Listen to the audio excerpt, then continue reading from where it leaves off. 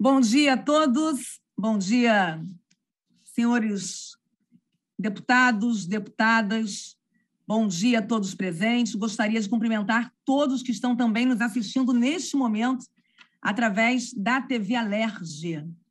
Gostaria também de cumprimentar todos os nossos convidados e, sob a proteção de Deus, declaro aberta a primeira audiência pública da Comissão de Assuntos da Criança, do Adolescente e do Idoso em 2022 conforme o edital de convocação publicado no Diário Oficial. É, e o tema desta audiência é vacinação contra a Covid-19 para crianças de 5 a 11 anos. Esse tema é um tema muito importante, muito atual, que está sendo debatido aí pela sociedade brasileira, né? E esta comissão não poderia ficar fora aí dessa discussão. Eu quero, é, de antemão, deixar bem claro que essa audiência pública será conduzida de forma imparcial e democrática, respeitando todas as opiniões. Porque o nosso objetivo aqui é o diálogo, né? é a informação. Nosso objetivo é tirar dúvidas e prestar esclarecimentos à população e deixar que os responsáveis tirem as suas próprias conclusões.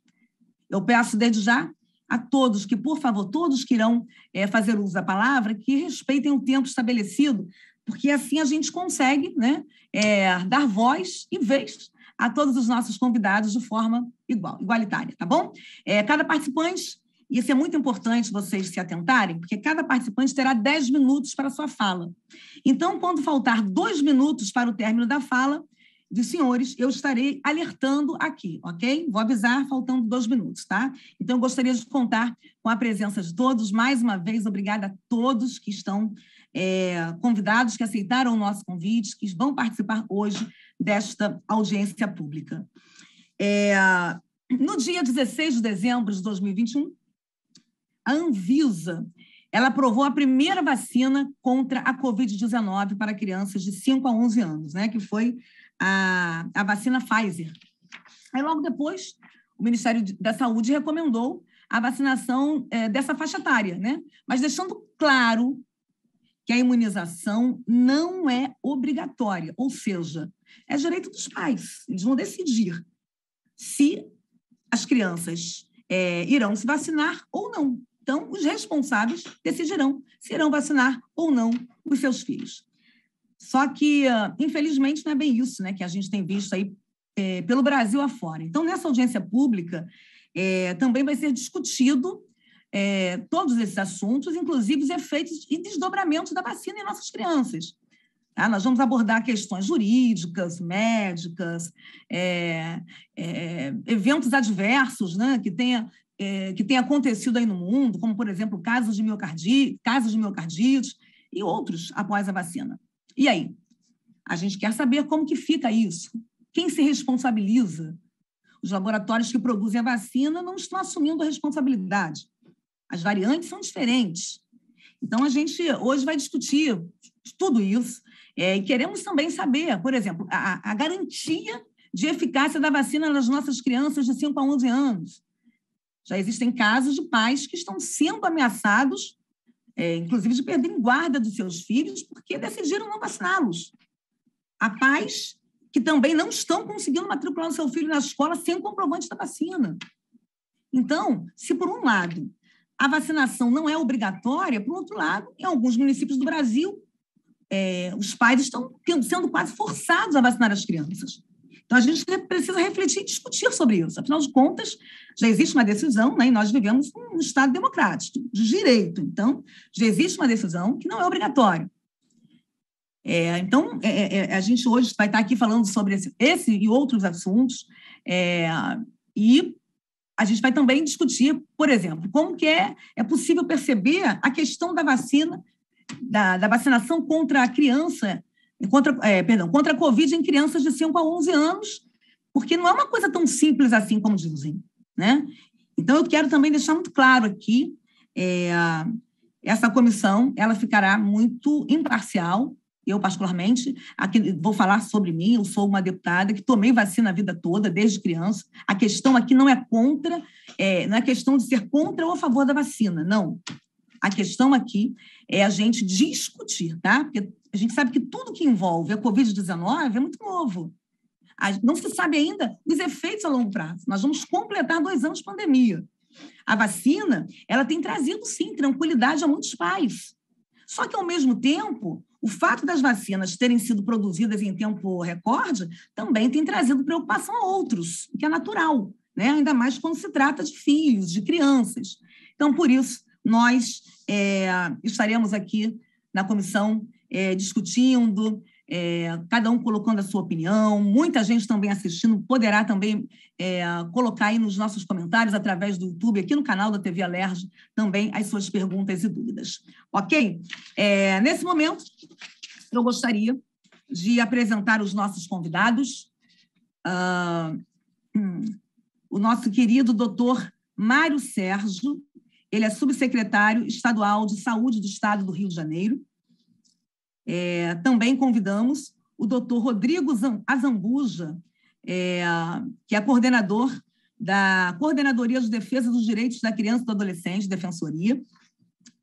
Convidamos também a doutora Márcia Lustosa, coordenadora do Centro de Apoio Operacional das Promotorias de Justiça de Tutela Coletiva de Defesa da Saúde do Ministério Público do Estado do Rio de Janeiro. Convidamos o doutor Edmilson Migovski. Ele é mestre em medicina pela UFRJ e doutor em medicina em concentração de doenças infecciosas e parasitárias pela UFRJ. Também convidamos a doutora Kemi Scarlett Shiba. Ela é médica especialista em psiquiatria para adultos, adolescentes e infância do Hospital de Clínicas de Porto Alegre.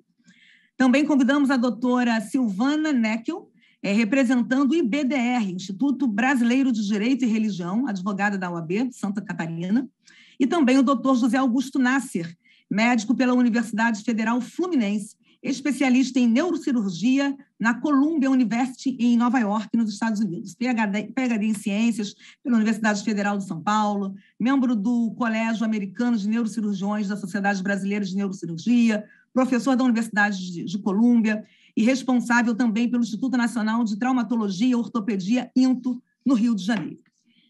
Vamos, então, começar é, a primeira fala, convidando a doutora Akemi Scarlett Shiba, por favor. Como disse, ela é médica especialista em psiquiatria para adultos, adolescentes e infância do Hospital de Clínicas de Porto Alegre.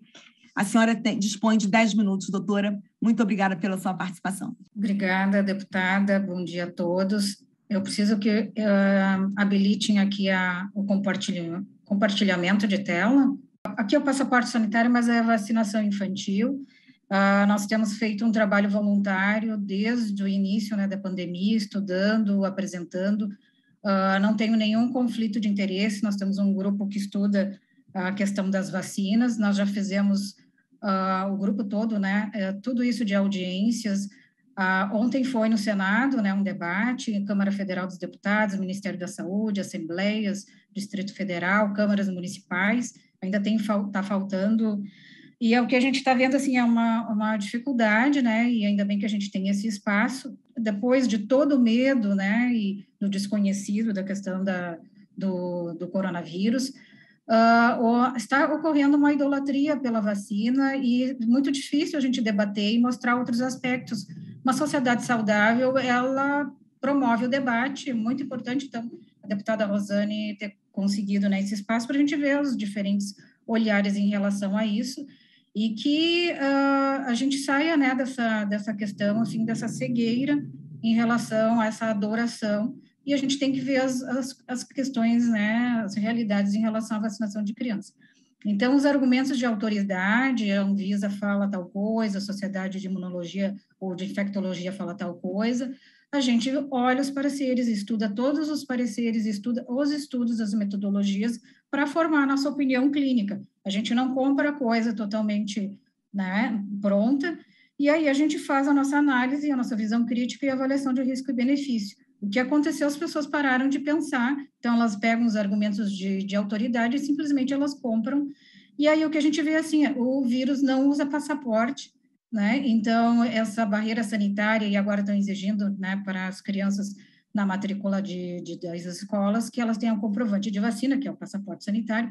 Isto é foi concebido como uma barreira sanitária, uma possibilidade e se mostrou totalmente inútil porque Israel foi o primeiro país a instituir o passaporte sanitário no fevereiro, em março do ano passado, e seis meses depois eles passaram a enfrentar um enorme surto da Delta, as variantes estão escapando das vacinas, lá eles usaram muito as vacinas de RNA, Moderna e, e Comirnaty, então, assim, é, aí seis meses depois eles passaram a enfrentar um enorme surto da Delta, que escapa das vacinas, assim como a Ômicron, e aqui a gente vê o índice de vacinação de Israel e de, da Nigéria, né? E aí a gente vê como é que está a situação agora em fevereiro. Israel está enfrentando um pico enorme, eles já vão para a quinta dose, já fizeram quatro doses de, de vacinas, e a Nigéria, é, praticamente 7% da população vacinada, e ela é essa linha vermelha contínua, sem ter aumento de casos, e aí a gente vai ver a diferença, né? Nigéria usa ivermectina em função da oncocercose, que é a cegueira dos rios, que é um problema crônico que, tem, que eles têm lá e tem que usar ivermectina contínua. Israel já está indo para a quinta dose e eles passaram a ter esse enorme surto da Delta que a gente está vendo aqui. Isso aqui é dia 5 de fevereiro. E aí e a gente tem esses quadros aqui, que isso aqui é da, da John Hopkins, e, e aqui é, é, o índice de vacinação, né? Então, uh, quanto mais aqui quando caiu o índice de, de, mortes, de casos, não tinha índice de vacinação completo na, aqui na barrinha verde, uh, significativo. Então, a linha estava caindo porque ia cair normalmente. E aqui, quanto ele mais aumentaram o índice de vacinação, começaram a surgir muitos casos, mas tem a ver com a variante. Então, aqui, para vocês verem, isso aqui é a curva da P1, que foi a que teve colapso da, de Manaus, a curva naturalmente estava descendo, não foi por causa das vacinação. Isso é uma coisa que o pessoal afirma. Estatisticamente, isso que já foi calculado pelo professor Bruno Campelo, não há correlação estatística, embora pareça ser.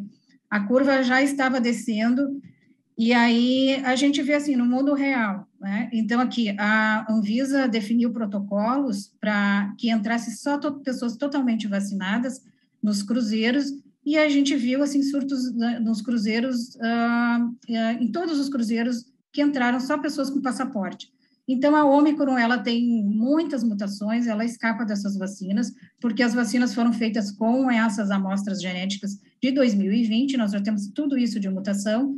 E aí o próprio CDC, isso que não é divulgado, ele falou no meio do ano passado que os totalmente vacinados estão contraindo e estão transmitindo a doença. Só que isso não é falado, né? Então, eu vou passar um pouquinho mais rápido.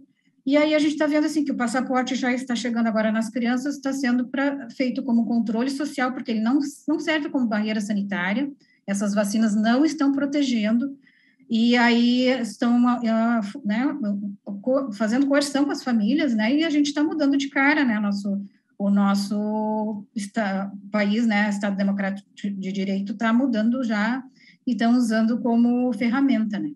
Então, aqui a gente vê os prefeitos, eles fizeram consórcio para compra de vacinas, e aqui, diz o prefeito de, de, de Florianópolis, ele disse que se tiver que dar vacina uma vez por semana, vai ter que ser. Né? Então, eles estão comandando, e aí é importante o pessoal entender aqui, uh, deixa eu mostrar aqui, uh, a gente, pelo argumento de, de, de autoridade, a Anvisa, ela segue os guidelines do ICH, que é uma organização transnacional. Aqui nós temos todos os conglomerados da farmacêutica, Bill Melinda Gates, e algumas agências regulatórias. Esse ICH, ele dita diretrizes de como usar vacinas. E aí, dentro do ICH, tem essa organização aqui, que aí a gente vai abrir, é só olhar no, nos próprios sites, né? E a gente vai ver, é toda a Big Pharma, está lá ditando as diretrizes para as vacinas. O vice-presidente dessa IFPMA é o CEO da Pfizer. Né? E engraçado que a gente vê, assim, o próprio uh, funcionário da Anvisa é membro, vários funcionários são membros dessa organização, que a Big Pharma está lá. Como é que a gente controla os conflitos de interesse? Né? Isso aí a gente tem que, tem que ver muito bem. Então, a vacinação de crianças, ela foi aprovada pelo Ministério da Saúde para o PNO, Plano Nacional de Operacionalização da Vacina contra a Covid não é o PNI, que são, o PNI são as vacinas obrigatórias, que são do Plano Nacional de Imunizações, que são as tradicionais, as vacinas conhecidas e que são as obrigatórias. E aí o PNO, ela é opcional e a autoridade máxima no país sanitária é o Ministério da Saúde. Não é gestor, não é prefeito. E aí a gente vê aqui o quadro de, de, de casos de mortalidade de, de Covid de 2020 a 21, de 5 a 11 anos, uh, morreram 308 crianças, não é 1.400, porque eles aqui eles somaram, inflaram o número para 1.400, isso não é real, é o grupo mais protegido de todas as faixas etárias. Então, aí o pessoal diz muito que é fake news, né? As vacinas são experimentais, sim, elas estão todas em fase 3, e aí essas, aqui a gente pode ver no próprio parecer da Anvisa, que liberou as vacinas para Covid, né, a, a Pfizer, aqui no próprio parecer diz, fase 2 e 3 estão sendo conduzidas nos Estados Unidos, Finlândia, Polônia, conduzidos, é experimental. Aí aqui eles dizem, né, por parecer, risco de anafilaxia e reações alérgicas graves será avaliado posteriormente à autorização. Eles não estudaram isso. Aqui também, no parecer, ah, estão faltando dados de imunidade celular, então não se sabe quanto tempo dura essa, essa, essa eh, proteção, e aí a, a, fabricante ficou de trazer esses dados da imunidade celular. Então, eles lançaram a vacina e nem sabem. É importante... Dois minutos para concluir, por favor, doutora. Tá. Então, assim, o Clinical Trials é um documento de, em que registram os ensaios clínicos para qualquer uh, ensaios uh, em seres humanos, testes de seres humanos, e aqui mostra o estudo da Pfizer, ele tem este número, ele está ativo, recrutando, e ele vai terminar em 2026. É um estudo experimental, a própria aqui diretora da Meiruzi, ela disse que é para as crianças, elas precisam ficar 20 minutos nos postos de saúde em observação, os pais fiquem atentos a dores repentinas no peito e falta de ar, e os postos de saúde e os hospitais estejam preparados para lidar com os eventos adversos dessas crianças. E aqui eh, são slides do próprio Gustavo Mendes da Anvisa dizendo sobre a Coronavac, que foi liberada para uso emergencial. Estudos de fase 3 em andamento experimental. Uh, estudos de fase 3 imunobreeding em andamento experimental. Aqui mesmo, o slide dele, que ele coloca os dois estados, estudos clínicos experimentais, e eles vão dar a mesma dose de Coronavac que dão em crianças, eles vão dar em adultos. Uma criança de 6 anos tem em média 20 quilos. Então, isso é bastante preocupante, porque são estudos experimentais, não tem dados publicados. Uh, é uma temeridade dar isso nas crianças, sem saber. Né? Então, a gente tem que pensar no princípio ético é, da precaução, na dúvida e falta de dados, não faça e o princípio da não maleficência, né? Pensando em fazer o bem, tu pode fazer muito mais mal. Então, aguardar estudos de segurança para depois ver. Né? Então, todos uh, que têm netos e filhos, né, que pensem bem a respeito disso, né, uh, ser administrado de maneira experimental nas crianças. Então, desculpa, passei no tempo, mas, mas é isso aí. Então, uh, é, é uma questão, assim, bastante... vou fechar aqui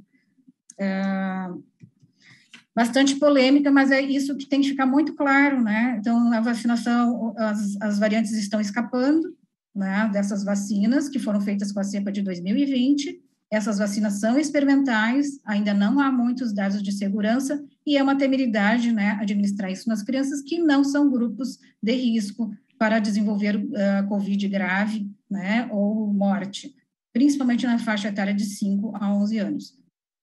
Também. Obrigada. Obrigada. Doutora Kemi, eu só gostaria de fazer uma pergunta para a senhora.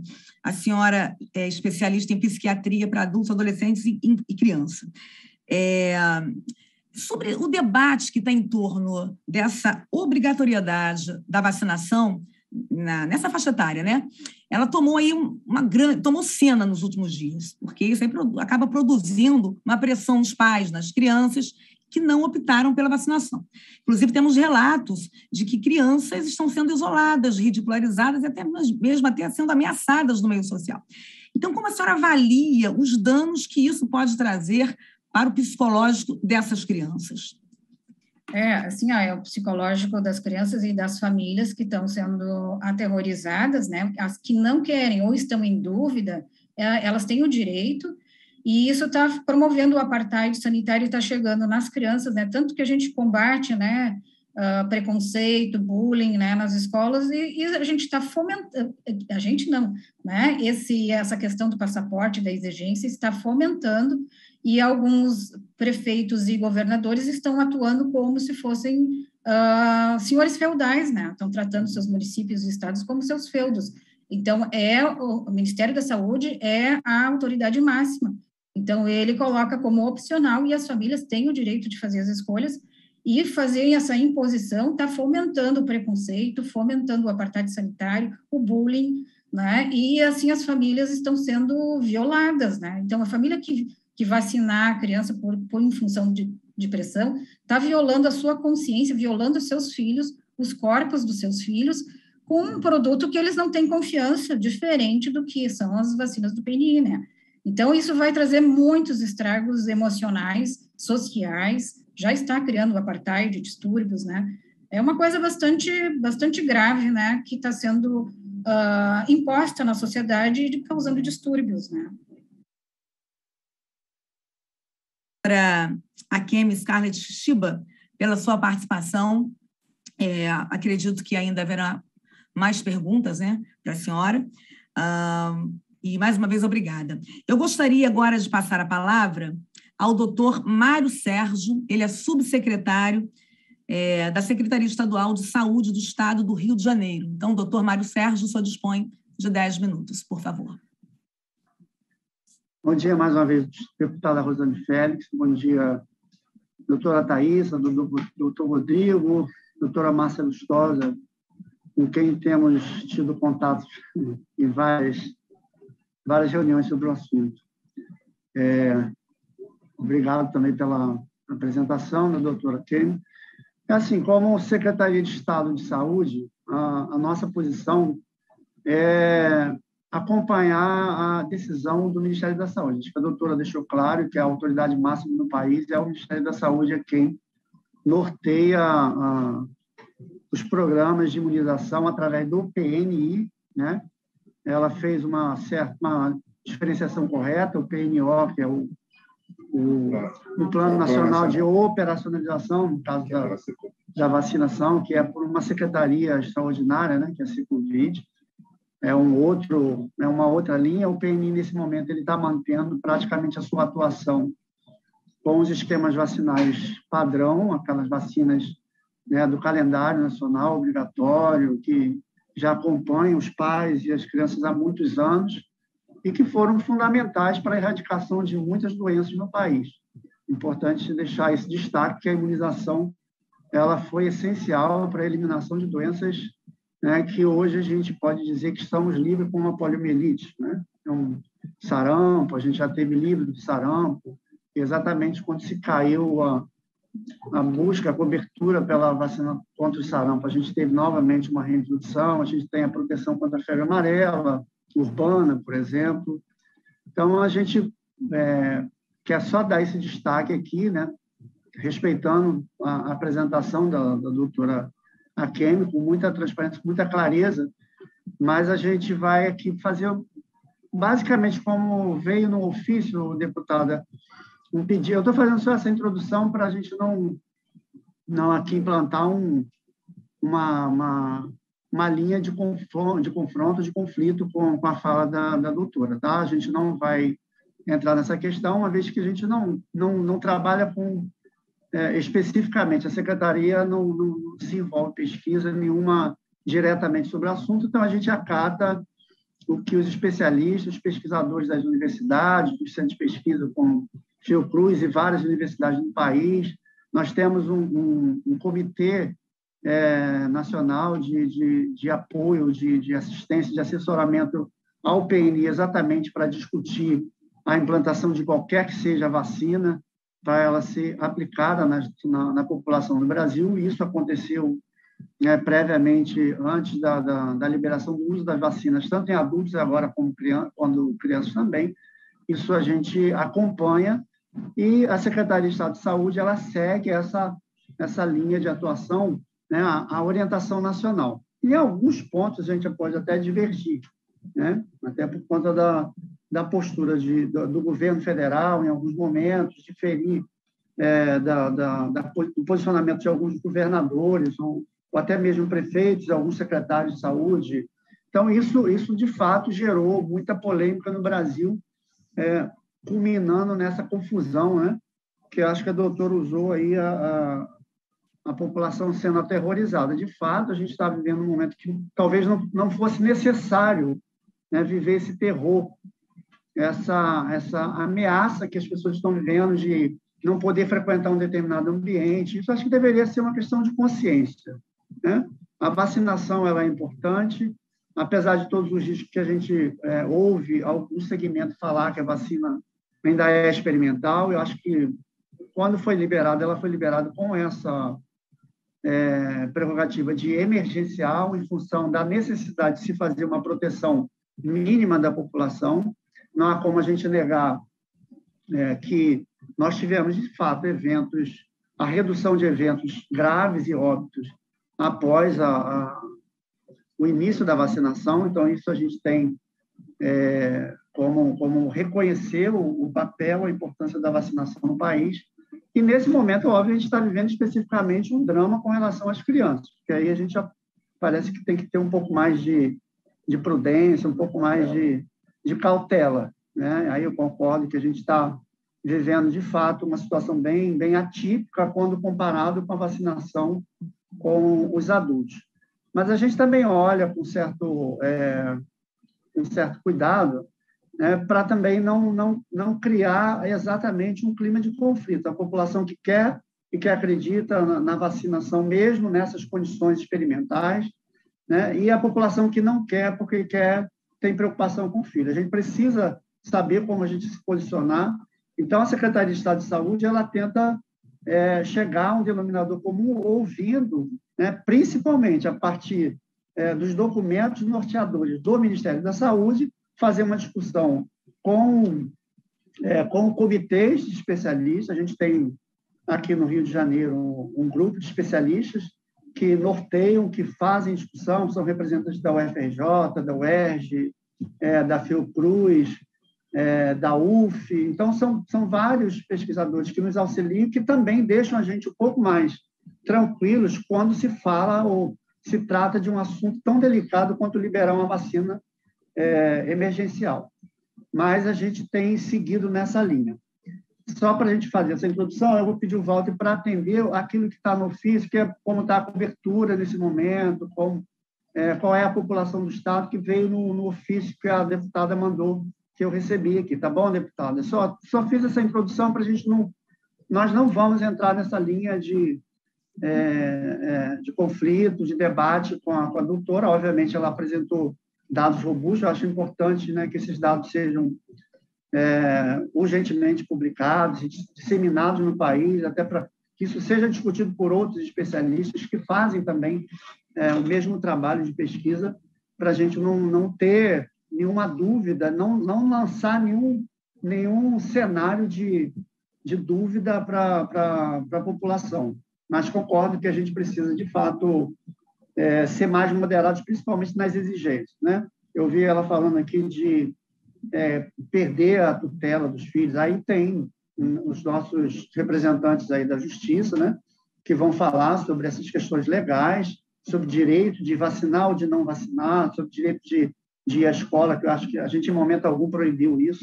Não fizemos questão de, de cobrar isso. A Secretaria de Educação, inclusive, para, as suas, para o seu regramento para as escolas estaduais, é, não, não impôs é, o, o, o, passaporte vacinal, né? com todas as recomendações que a gente chegou à conclusão de fazer uma campanha, inclusive de sensibilização dos pais quanto à importância da vacinação, mas sem entrar nessa questão de de criar barreiras para que a criança volte à escola, que é o que a gente não quer nesse momento, já que nós estamos falando de crianças, tá? Então, o Walter vai falar. O Walter é o nosso gerente da, da, de imunizações aqui do Estado, participa de várias reuniões com a Secovid, que é a Secretaria Executiva do Ministério, que discute o PNO e que também é membro do, do nosso comitê, do CETAI. Ele vai dar os dados e depois a gente abre né, para algum questionamento que for é, necessário a resposta da Secretaria Estadual. Tá? Muito obrigado. O Walter vai continuar aqui. Obrigada. Bom dia a todos presentes. Agradeço o espaço aqui que o Mário, é, que vocês estão ofertando ao Estado para estar se manifestando a respeito desse tema, que realmente é de extrema importância. É, esse, esse assunto já tem sido discutido bastante internamente, inclusive com o próprio Ministério Público, tem representantes aí presentes, a Thaís e outros, aí a gente está sempre é, tentando é, manter uma, uma interlocução com relação a essa questão da vacinação das crianças. E com relação ao que o Mário referiu aqui, eu, eu vou falar de alguns números que refletem a nossa situação hoje, por consideração o status da situação de vacinação do Estado do Rio de Janeiro, nesse momento, para crianças de 5 a 11 anos, relacionado à ação de vacinação contra a Covid. Então, nós temos previstas aí uma população de cerca de 1 milhão 530 mil crianças nessa faixa etária de 5 a 11 anos para serem vacinadas. É, o Ministério da Saúde, assim que ele aprovou a vacinação com base nos dados da Anvisa autorização de uso da vacina Pfizer pediátrica, né, como a doutora Kimi ela citou na apresentação dela, é, foi emitida uma nota, essa nota saiu é, a partir de 5 de janeiro e os estados começaram a receber vacina a partir do dia 12 de janeiro. É, e, a, e nessa nota veio realmente a referência com relação à não obrigatoriedade de vacinação, que aqui no estado, após discussão junto aos, ao Conselho Municipal, é, é, na INCIB, né, junto com outros representantes, é, o Estado adotou a conduta de recomendar a vacinação né, e a toda a população de 5 a 11 anos, porém com, com essa cautela, com esse cuidado de avaliar as contraindicações absolutas para crianças que as tivessem. Então, nesse caso, a gente estaria tendo cautela e não estaria é, vacinando essas crianças. São as crianças que geralmente elas são avaliadas através dos nossos centros de que são os CRIs, que são os Centros de Referência de Imunobiológicos Especiais. É para toda vacina do calendário, toda vez que a gente tem alguma criança que tem alguma contraindicação de vacinação, elas são acompanhadas pelo CRI, são avaliadas pelo CRI, e aí elas são avaliadas com especiais e a conduta com relação à vacinação ou não ela é acompanhada por os especialistas do CRI. É, das vacinas autorizadas, no dia 21 de janeiro, o Ministério autorizou, mediante a Anvisa, né, a aprovação pela Anvisa de uso da vacina Coronavac, e a partir daí o Estado ele recebeu um montante equivalente a cerca de 783.600 doses até a, a, a última distribuição realizada pelo Estado na semana passada. Dessas 783.600 doses, nós já temos no sistema de informação, no CPNI, né, do Ministério da Saúde, cerca de 286 mil doses lançadas, e que equivale a aproximadamente 18,2% é, em relação à população de 1,5 milhões de crianças a serem vacinadas. O que eu queria destacar para vocês é que nós temos monitorado os eventos adversos, aproveitando aí também a informação da doutora que me trouxe, e desses eventos adversos até o momento nós observamos cerca de seis eventos adversos que são categorizados como graves, que são situações sistêmicas de, que exigem maior investigação, maior cuidado nessa investigação. Eu posso até citar para vocês quais são. Nós tivemos um quadro, uma notificação relacionada a síncope, uma relacionada a convulsão, outra relacionada a desmaio, duas relacionadas a dor, febre e diminuição do tônus de membros inferiores, e uma relacionada à hipotonia, sendo três com a vacina Coronavac e três com a vacina Pfizer pediátrica. E nós temos cerca de 44 notificações relacionadas a eventos leves é, para ambas, a, divididas entre ambas as vacinas. É, considerando que a gente tem um atraso o, de digitação, e aí o que, que eu estou querendo dizer? As vacinas, elas começaram, no caso da Pfizer pediátrica, por exemplo, ela começou a ser distribuída a partir do dia 14 de janeiro aqui no estado. E a vacina Coronavac, ela começou a ser distribuída aos municípios a partir do dia 24 de janeiro no estado. Então, os municípios, eles é, eles estão vacinando, mas existe um, um atraso que a gente observa com relação ao registro dessa informação no sistema de informação. Por isso que eu citei o montante de vacina distribuído, das 783 mil doses, a gente só tem, no momento, no sistema, 285 mil doses lançadas, último levantamento até a data de ontem, quer dizer, hoje extraído com base de ontem, tá? a data de 14 de fevereiro. Então, era mais para fazer uma comparação entre o que saiu de doses e o que a gente tem em sistema lançado. É, além disso, é, além desse monitoramento, além desse acompanhamento é, que a gente faz frequentemente, os municípios eles estão em constante contato com a gerência de imunizações. E uma das nossas preocupações que a gente já tá, estava discutindo com relação ao Ministério Público era com relação à adesão e situações circunstanciais que pudessem estar né, gerando algum transtorno com relação à, à importância da vacinação para esses responsáveis fossem informações relacionadas a fake news e outros assuntos que pudessem estar interferindo nesse processo de vacinação, onde houvesse necessidade do Estado dar um maior apoio com relação a esclarecer né, possíveis informações equivocadas relacionadas ao processo de vacinação com as vacinas contra a Covid nessas crianças. Então, é isso que eu teria de informação aqui nesse momento. Obrigada, doutor, eh, querido Walter. Doutor Mário Sérgio, eu só gostaria de fazer uma pergunta. O senhor citou, né, falou é, sobre a vacinação das crianças, por exemplo, do sarampo. Mas na vacina do sarampo, por exemplo, não havia essa mesma vulnerabilidade de reinfecção acontece agora com a, a vacina da, da, do Covid-19. Vocês têm algum dado, algum dado sobre isso, sobre ah, esse, essa reinfecção, por exemplo, essa vulnerabilidade aqui, a vacina contra o tirado.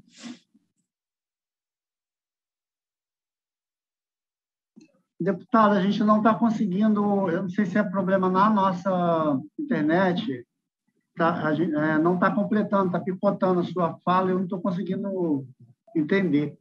Só pode repetir, por favor. É, é, o senhor citou a vacina, a vacinação do sarampo, vacina do sarampo nas nossas crianças, né?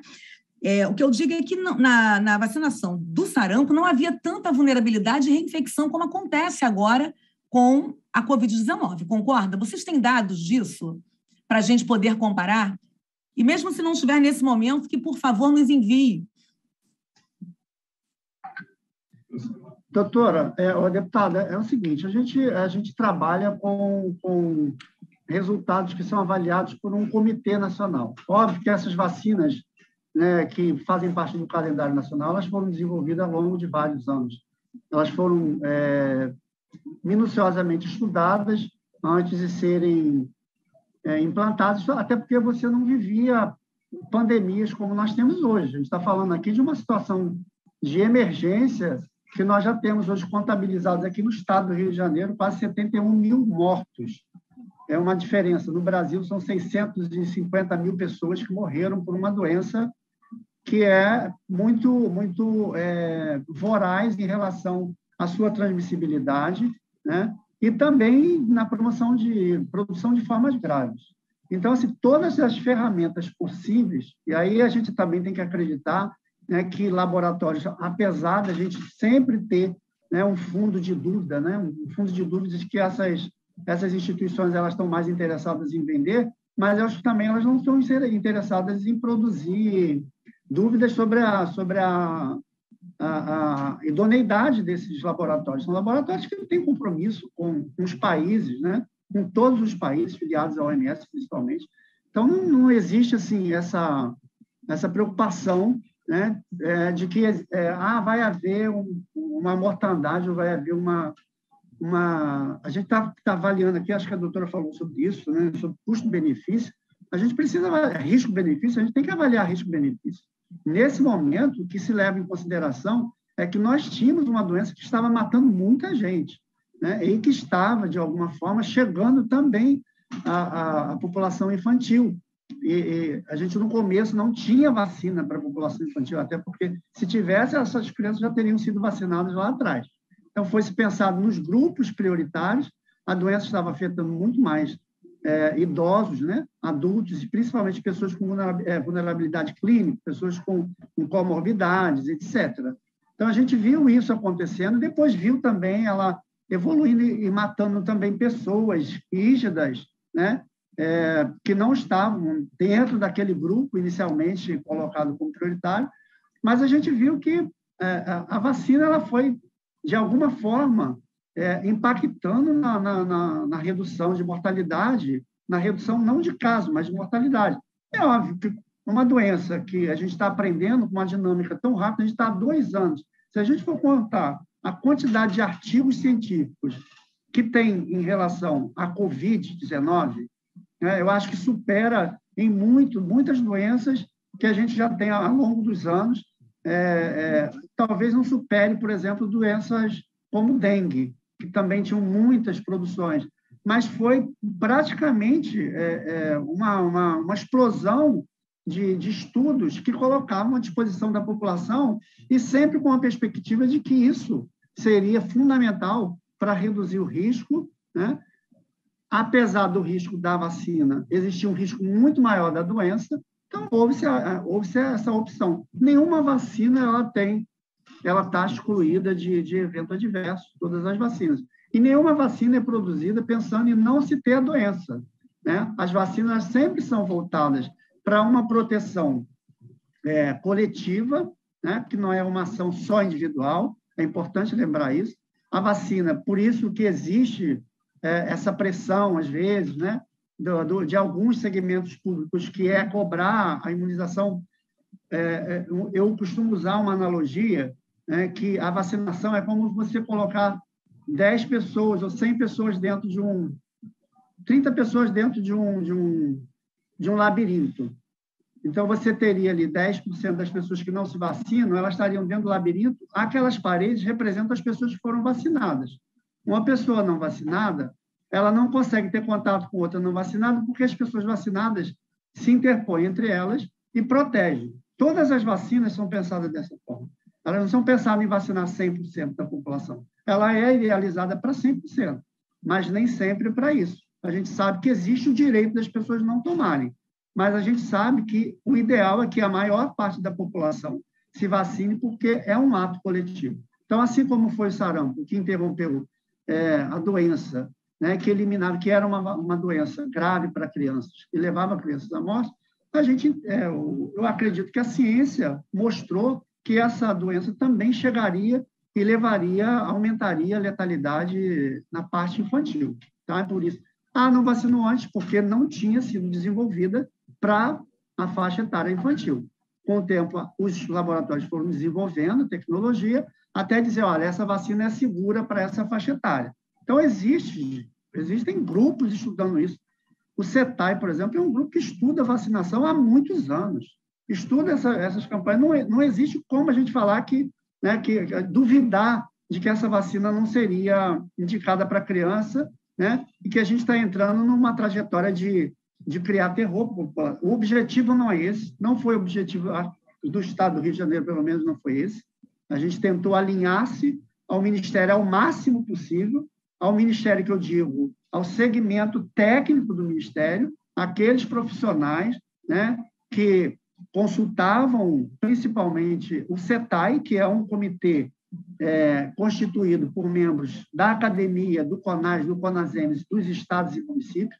Não é um grupo é, escolhido de qualquer forma, é um grupo que trabalha com isso há muito tempo, então a gente teve que seguir essa linha e, e acompanhar. A posição do Estado do Rio de Janeiro, que eu acho que é a posição da maioria né, dos estados brasileiros, né, é seguir o PNO, né, dentro daquilo que a gente entende que é coerente com a ciência, e foi o que a gente seguiu. Não estou dizendo que, aqui colocando em, em, em xeque ou em queixa a, apresentação da doutora Kemi, que também é, apresentou dados né, científicos, mas a gente tem um, é, um grupo né, que estuda isso, que assessora o Ministério da Saúde, que assessora a área técnica do Ministério da Saúde, e que assessora o, o Conselho Nacional de Secretários de Estado de Saúde, assessora o Conselho Nacional de Secretários Municipais de Saúde, para que essas decisões sejam tomadas em conjunto, não são decisões isoladas.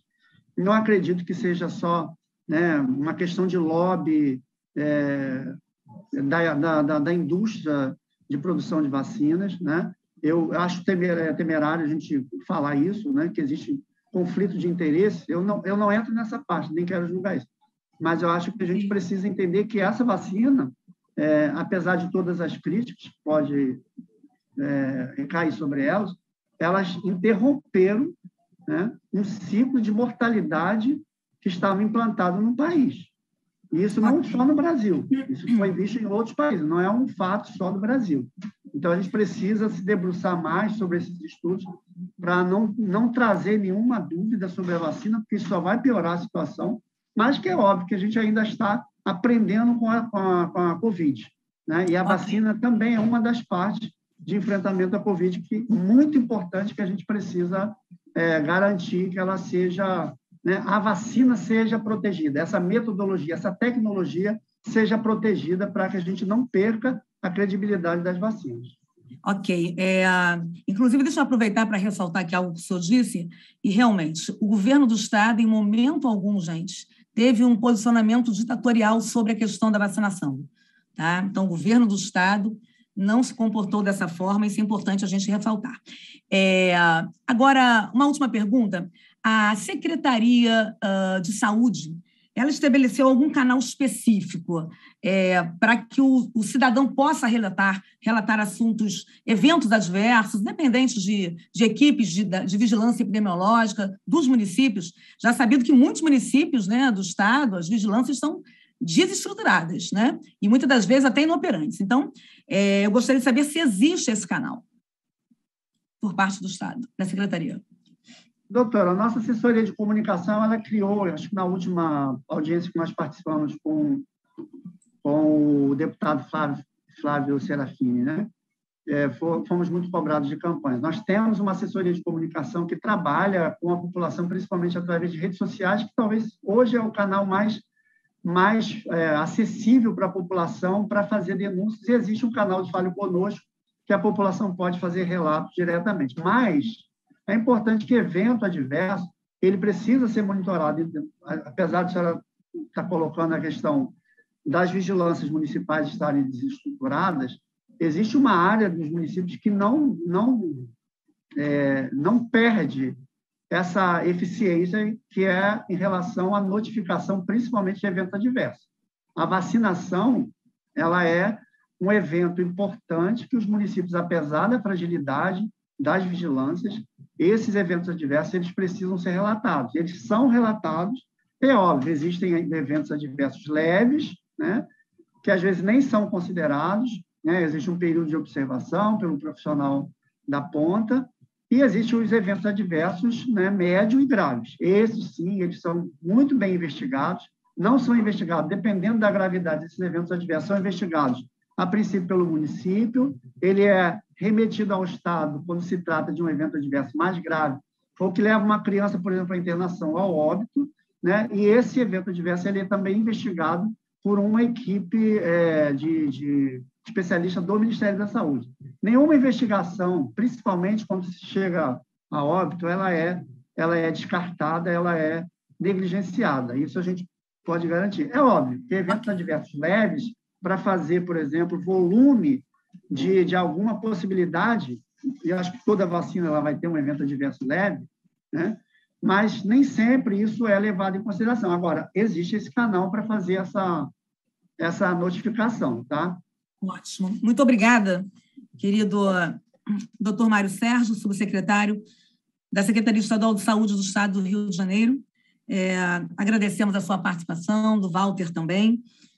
É, e gostaríamos agora de ceder também a palavra à doutora Silvana Neckel, ela que vem representando o IBDR, Instituto Brasileiro de Direito e Religião, advogada da OAB de Santa Catarina.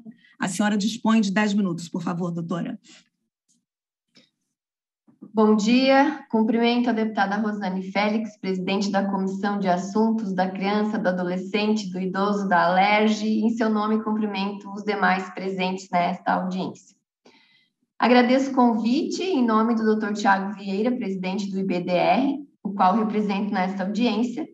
E o IBDR é o Instituto Brasileiro de Direito e Religião, que, além de atuar na defesa da liberdade religiosa, também atua na defesa e proteção dos direitos humanos fundamentais, como as liberdades tuteladas em nossa Constituição Federal. Então, ele foi fundado em 2018, para quem não conhece, o Instituto ele tem como presidente de honra o Dr. Ives Gandra Martins, um dos maiores juristas do nosso país. É, ele conta também com um grupo de estudos constitucionais e legislativos, que é o GECL, e ele tem contribuído com a emissão de inúmeros pareceres em casos pontuais de afronta a direitos e garantias fundamentais, e esses pareceres estão disponíveis à consulta pública no site do ibdr.org. Convido todos a conhecer o Instituto e, quem sabe, fazer parte dele. É, como nós temos conversado até o momento, a vacinação da Covid em crianças de 5 a 11 anos é um assunto que demanda muita cautela. E, e por este motivo, os pais devem estar munidos de inúmeras informações para que possam, então, né, decidir de forma segura, consciente e livre sobre vacinar ou não vacinar os seus filhos. É, a vacina, como a doutora Kemi pontuou e a deputada também, não é obrigatória em crianças de 5 a 11 anos de idade e em nenhuma outra faixa etária, né? Desde o idoso até a criança, é, o Ministério da Saúde não obriga a vacinação da Covid-19, justamente por ela não estar no Programa Nacional de Imunizações, que é o PNI, e também não estar no calendário vacinal. Então, o que o Ministério da Saúde fez foi incluir a recomendação à vacina no Plano Nacional de Operacionalização da Vacinação, que é o PNO, que também já foi explicado pela doutora Kim. No entanto, quando o Ministério da Saúde recomenda a vacina, ele diz assim, ó, que apenas com autorização dos pais ou os responsáveis legais das crianças ou em caso de prescrição médica, quando a criança apresenta alguma comorbidade e a necessidade de que seja vacinada. Então, é nesse sentido, nós podemos afirmar que o artigo 14, parágrafo 1 do ECA, que obriga a vacinação das crianças, não se aplica às vacinas da Covid-19, justamente por elas não serem obrigatórias e não estarem no PNI, né? Então, hoje, nós não temos a aplicação do ECA às vacinas da Covid-19, portanto, não, o Estado não é, Nós pode... estamos com uma dificuldade em ouvi-la. Doutora Silvana, nós estamos com Sim. dificuldade em ouvi-la, parece que estamos com um problema aí na conexão. É, Isso, parece que agora voltou. Ouve melhor? Estou ouvindo bem, mas eu acho que talvez seja a internet da LERJ. Exatamente. Talvez seja a internet da LERJ. Vamos lá, pode continuar. Então, até o presente momento, então, a vacina não está no PNI e, por isso, não é aplicada a obrigatoriedade do ECA. Então, o agente público ele não pode vacinar a, a criança contra a vontade de seus pais pois quem exerce plenamente o poder familiar sobre os filhos são os pais ou os responsáveis legais, né? É, o pai que, que escolher não vacinar seu filho não perde o poder familiar. Isso é muito importante pontuar, justamente pelo que já foi dito inúmeras vezes. Não, a vacina não é obrigatória. E aqui é importante frisar que a perda, suspensão ou extinção do poder familiar, ela se dá somente nos casos previstos na lei e quando se verifica que o pai não demanda os cuidados necessários com o filho. E justamente a, a, quando se fala em vacina de Covid-19, é, se verifica todas essas questões da vacina ser experimental, os efeitos colaterais que ainda não estão estudados, não estão averiguados a longo prazo, é, várias situações de doenças que tão, estão sendo causadas pela vacina, justamente o pai é, evitar é, a vacinação neste momento, ele está protegendo seu filho, né? Ele não está prejudicando. Então, não cabe aqui, não é caso de suspensão ou extinção de poder familiar daquele pai que não vacina o seu filho. E o agente sanitário, o agente público, o prefeito, é, qualquer autoridade que obrigar a vacinação é, da criança poderá responder criminalmente e civilmente, né? Por não respeitar o poder familiar e a decisão que é exclusiva dos pais. Essa questão da vacina ser é, compulsória e se a compulsoriedade da vacina prevista na Lei 13.979 é, de 2020 foi decidida já pelo STF na ADI 6.586 e o STF já pontuou que é que a vacina compulsória não significa vacina obrigatória ou forçada. Então, o STF afirmou o entendimento de que a vacinação de forma que podemos prosseguir com a vacinação de forma voluntária, pode haver uso de medidas de convencimento da população, desde que não sejam aflitivas ou coercitivas às pessoas. E aí nós concluímos que, que a obrigação do uso das vacinas experimentais para as crianças na idade de 5 a 11 anos não está de acordo com a legislação brasileira e com o entendimento atual do STF, certo? Então, se de alguma forma os pais forem obrigados a vacinar seus filhos e eles apresentarem algum efeito colateral, alguma doença, é, é possível que eles possam, né, eles podem propor ação judicial para responsabilização civil e, em alguns casos, até criminal, porque quem obriga a vacinação, não importa quem obriga, o Estado, a União, o município, o agente público, o diretor da escola, o prefeito, o governador, o ministro, o padre, o pastor ou até um terceiro, né? É comum a gente verificar nas redes sociais que as pessoas é, que não fazem parte da, de, das pesquisas, não fazem parte da área médica, elas afirmarem que as vacinas são seguras, mas onde, onde ela, em que pressupostos elas estão é, se firmando para afirmar isso, né? E, e, então, assim, é preciso muita cautela. Não há consenso científico quanto aos efeitos adversos dessas vacinas. É, nossas crianças são nossos tesouros, nós precisamos cuidar das crianças, da saúde das crianças, né? Então, os pais, outra situação que tem ocorrido no, no Brasil, os pais estão Dois minutos, por favor. Os pais estão sendo impedidos, sim, de realizar a matrícula de seus filhos. É totalmente arbitrário. O direito fundamental previsto, direito à educação é fundamental, está previsto na Constituição Federal, na cláusula pétrea. Então, não pode acontecer isso. É, essa situação pode ser configurada como crime, um abuso de autoridade, um crime de constrangimento ilegal, até uma ameaça. Contra essas situações, cabem os remédios jurídicos, mandado de segurança, habeas corpus, como a gente tem visto aí pelo país, né? Inúmeros já têm sido analisados, outros é, deferidos, indeferidos, como a gente tem acompanhado. Então, é, o ECA e a legislação brasileira traz o princípio da proteção integral da criança. Sempre que vamos analisar essa situação, precisamos ver por todos os lados, né? O lado científico, o lado jurídico, o lado da saúde. Então, é, é preciso que todos entendam que a responsabilidade do cuidado das crianças é de todos no Brasil. A Constituição Federal, no artigo 227, traz essa responsabilidade, né? Então, diante disso, e, e, e, considerando que não há consenso científico quanto aos efeitos colaterais da vacinação em crianças, é, o IBDR entende que a decisão cabe exclusivamente aos pais que têm a plena capacidade de, de decidir sobre a saúde de seus filhos, eles têm o poder, o, o poder familiar de forma plena, o, direito natural de exercer a paternidade.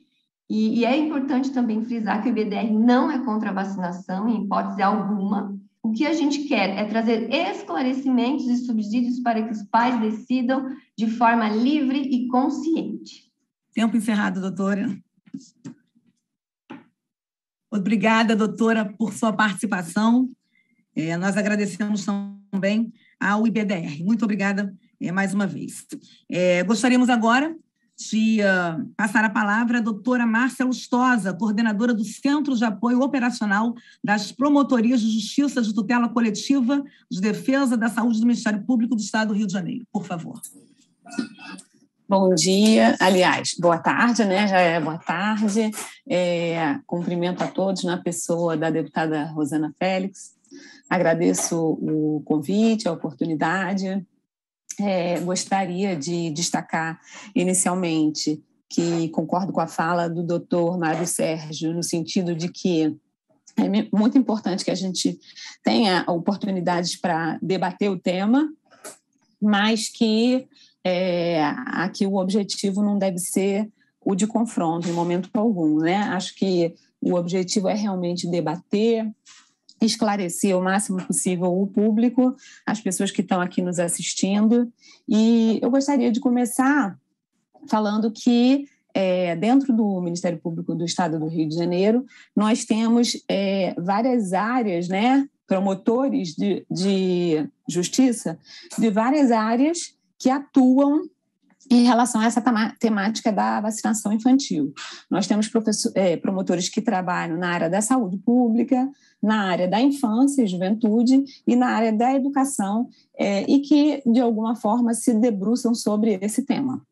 Nós temos feito questão de debater internamente essa função do, da nossa coordenação de saúde, né, dentro do MPRJ, de debater internamente é, com bastante é, clareza, né? trazendo o máximo de informações para os promotores, para que eles se sintam é, mais esclarecidos e fortalecidos quando receberem essas demandas né, a respeito desse assunto no Estado todo. Né? Então, já tivemos oportunidade de debater sobre isso com o nosso grupo de apoio técnico, que é composto de médicos, sanitaristas, é, enfim, médicos clínicos e profissionais da área de saúde em geral. Já tivemos oportunidade de falar é, sobre esse assunto, né, de debater essa questão em conjunto com a Defensoria Pública e com a Secretaria Estadual de Saúde, que tem nos prestado todos os esclarecimentos, né?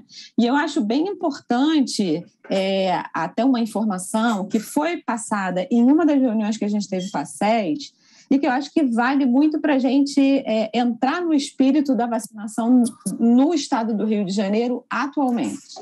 A gente tem um dado que é muito relevante, que é a questão do fornecimento né, da, das vacinas, atualmente, das vacinas infantis, né, para a faixa de 5 a 11 anos, é, no Brasil. É, o, o, Ministério da Saúde adquiriu essas vacinas há pouco tempo, então, na realidade, a gente não tem ainda uma ampla disponibilidade das vacinas em todos os municípios do Rio, como a gente gostaria. Eu estou falando aqui de estado do Rio porque esse é o nosso âmbito, né? Mas no Brasil a situação é a mesma.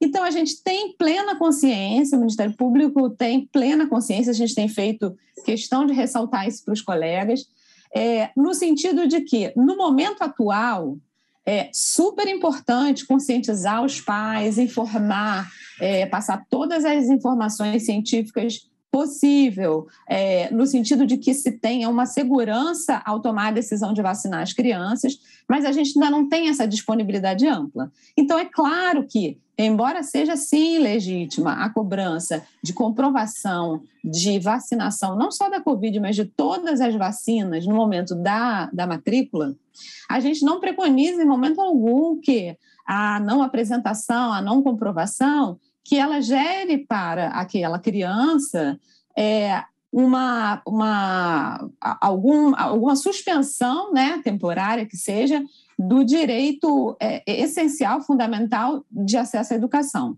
Então, é, a gente tem isso como muito claro, né?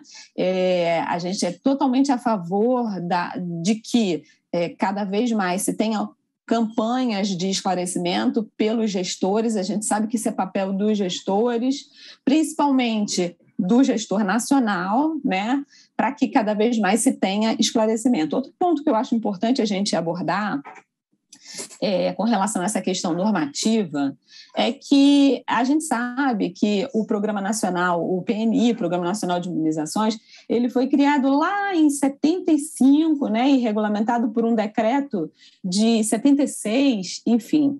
E desde então, né, a, a sistemática é, adotada por essa, por essa lei, regulamentada por esse decreto, tem sido no sentido de se é, adotar listas que são atualizadas bienalmente, quase, né? É, de, de, vacinas que são incorporadas ao Programa Nacional de Imunização. É, claro que a gente nunca tinha vivido antes uma situação como essa, né? uma emergência pública de importância internacional, a gente está em plena vigência dessa situação ainda. É, na nossa na era moderna é a primeira vez que a gente vivencia uma situação como essa e diante de todos os esforços que foram necessários para se conseguir uma vacina, né? Uma não, algumas vacinas, se desenvolver vacinas e do esforço que foi necessário para que o nosso Ministério da Saúde pudesse adquirir vacinas para a população como um todo, foi criado um programa nacional de operacionalização da vacinação contra a Covid, destacado do PNI, mas apenas e tão somente por conta dessa questão premente, dessa emergência que a gente está vivendo.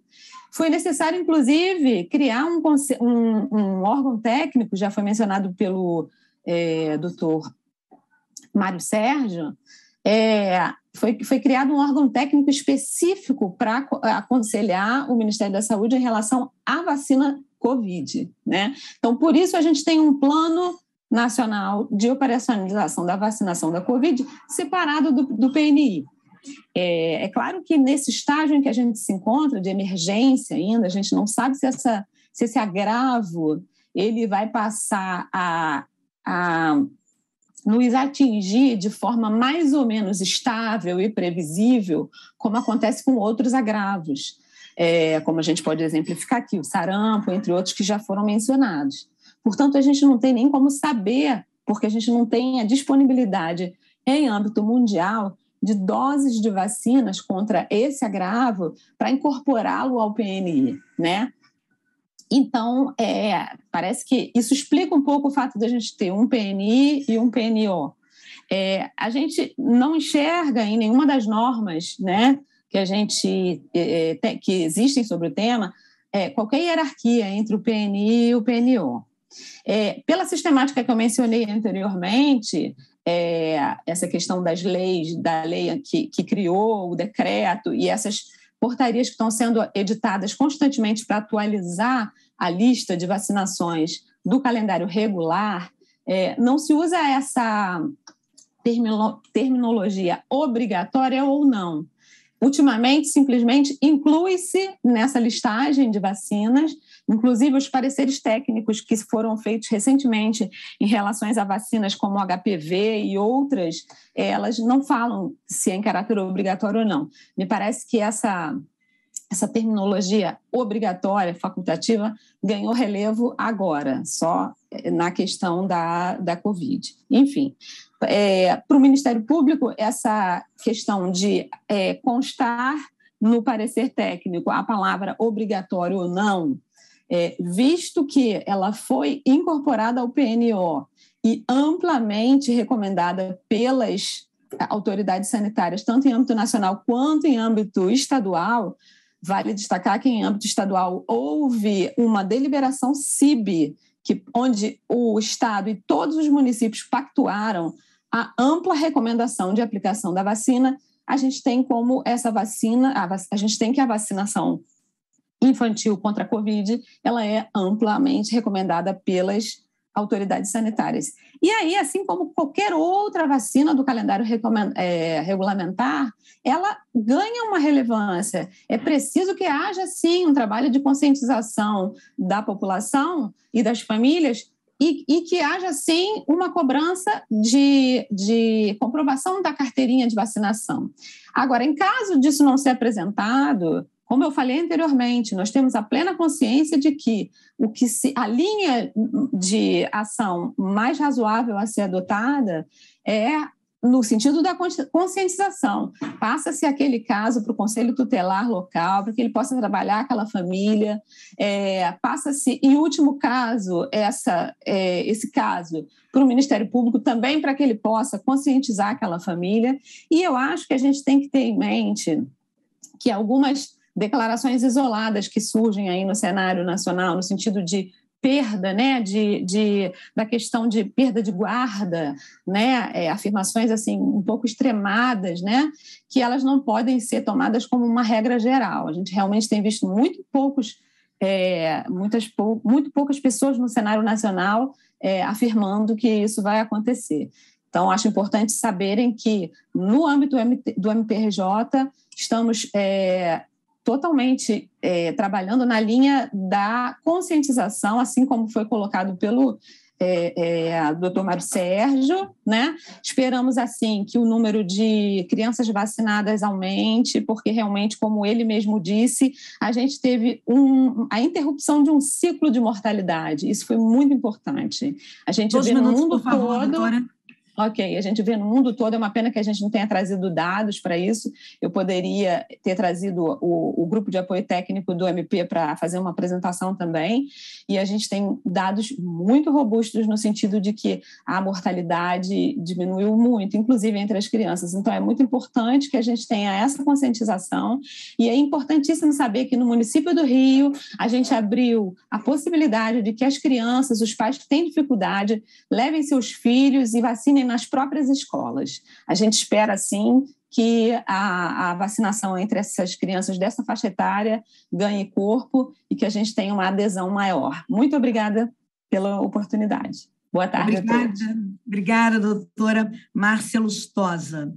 É, passamos então a palavra agora ao doutor Rodrigo Azambuja, ele que é o coordenador da Coordenadoria de Defesa dos Direitos da Criança e do Adolescente por favor, o senhor dispõe de 10 minutos, doutor Rodrigo.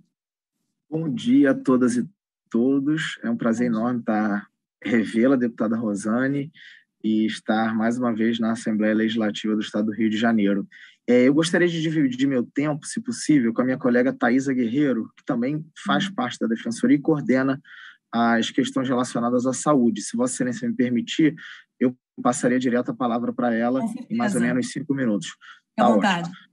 Bom, é, nós na defensoria somos 800 defensores aqui no estado do Rio de Janeiro, mais ou menos, é, e nós tentamos, para evitar é, que haja posicionamentos muito diversos e um, objetivando um tratamento mais equânime e das, das situações, porque a gente tem a compreensão de que equanimidade também corresponde a um valor muito caro para a nossa sociedade, que é de justiça, né?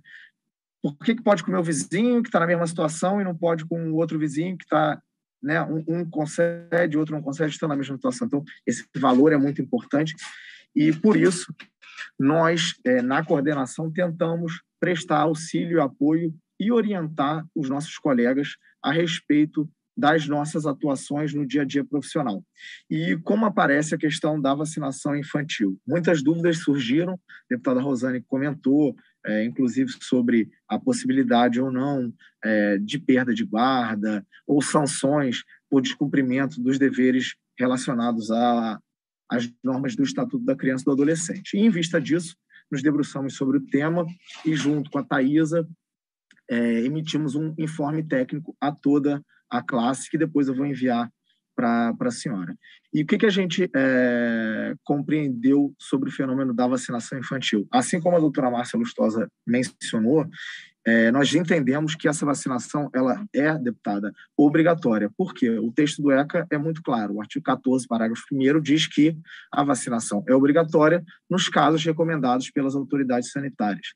E, ao menos no estado do Rio de Janeiro, ela é amplamente recomendada por todos os secretários estaduais municipais de saúde, dos 92, e também pela Secretaria Estadual de Saúde, a partir de uma deliberação que eles tomaram, de número 6666, e que reconhecem os efeitos positivos da vacina para conter a mortalidade, efeitos positivos da vacina para permitir uma abertura segura e perene de escolas e é, demonstrações, então, de é, segurança e eficácia.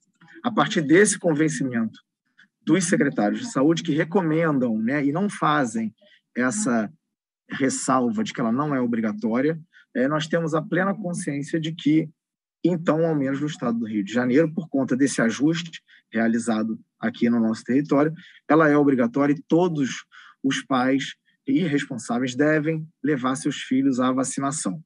É, inclusive, ah, é preciso referir que esse artigo do Estatuto foi questionado, teve a constitucionalidade dele questionada. Uns pais de São Paulo, deputada, é, que eram adeptos da filosofia vegana, não queriam levar seus filhos para as vacinações.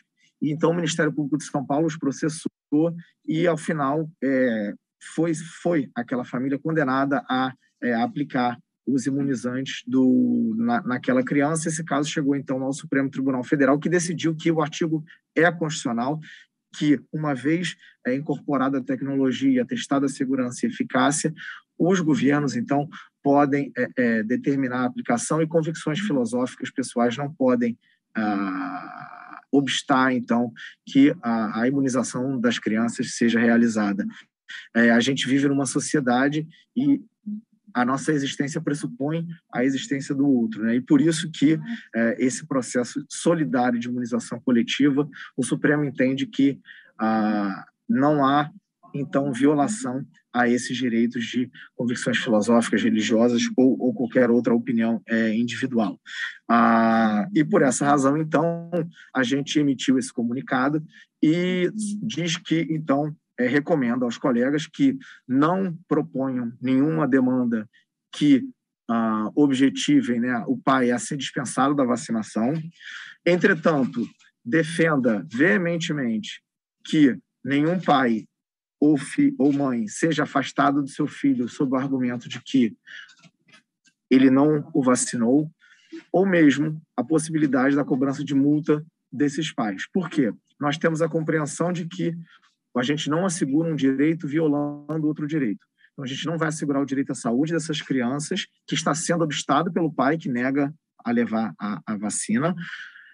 Segundo as autoridades sanitárias, ela é altamente recomendada e, portanto, é, a gente não assegura um direito violando o outro. Então, a gente não assegura a saúde das crianças deixando que elas não compareçam à escola, impedindo que elas compareçam à escola e também afastando dos pais.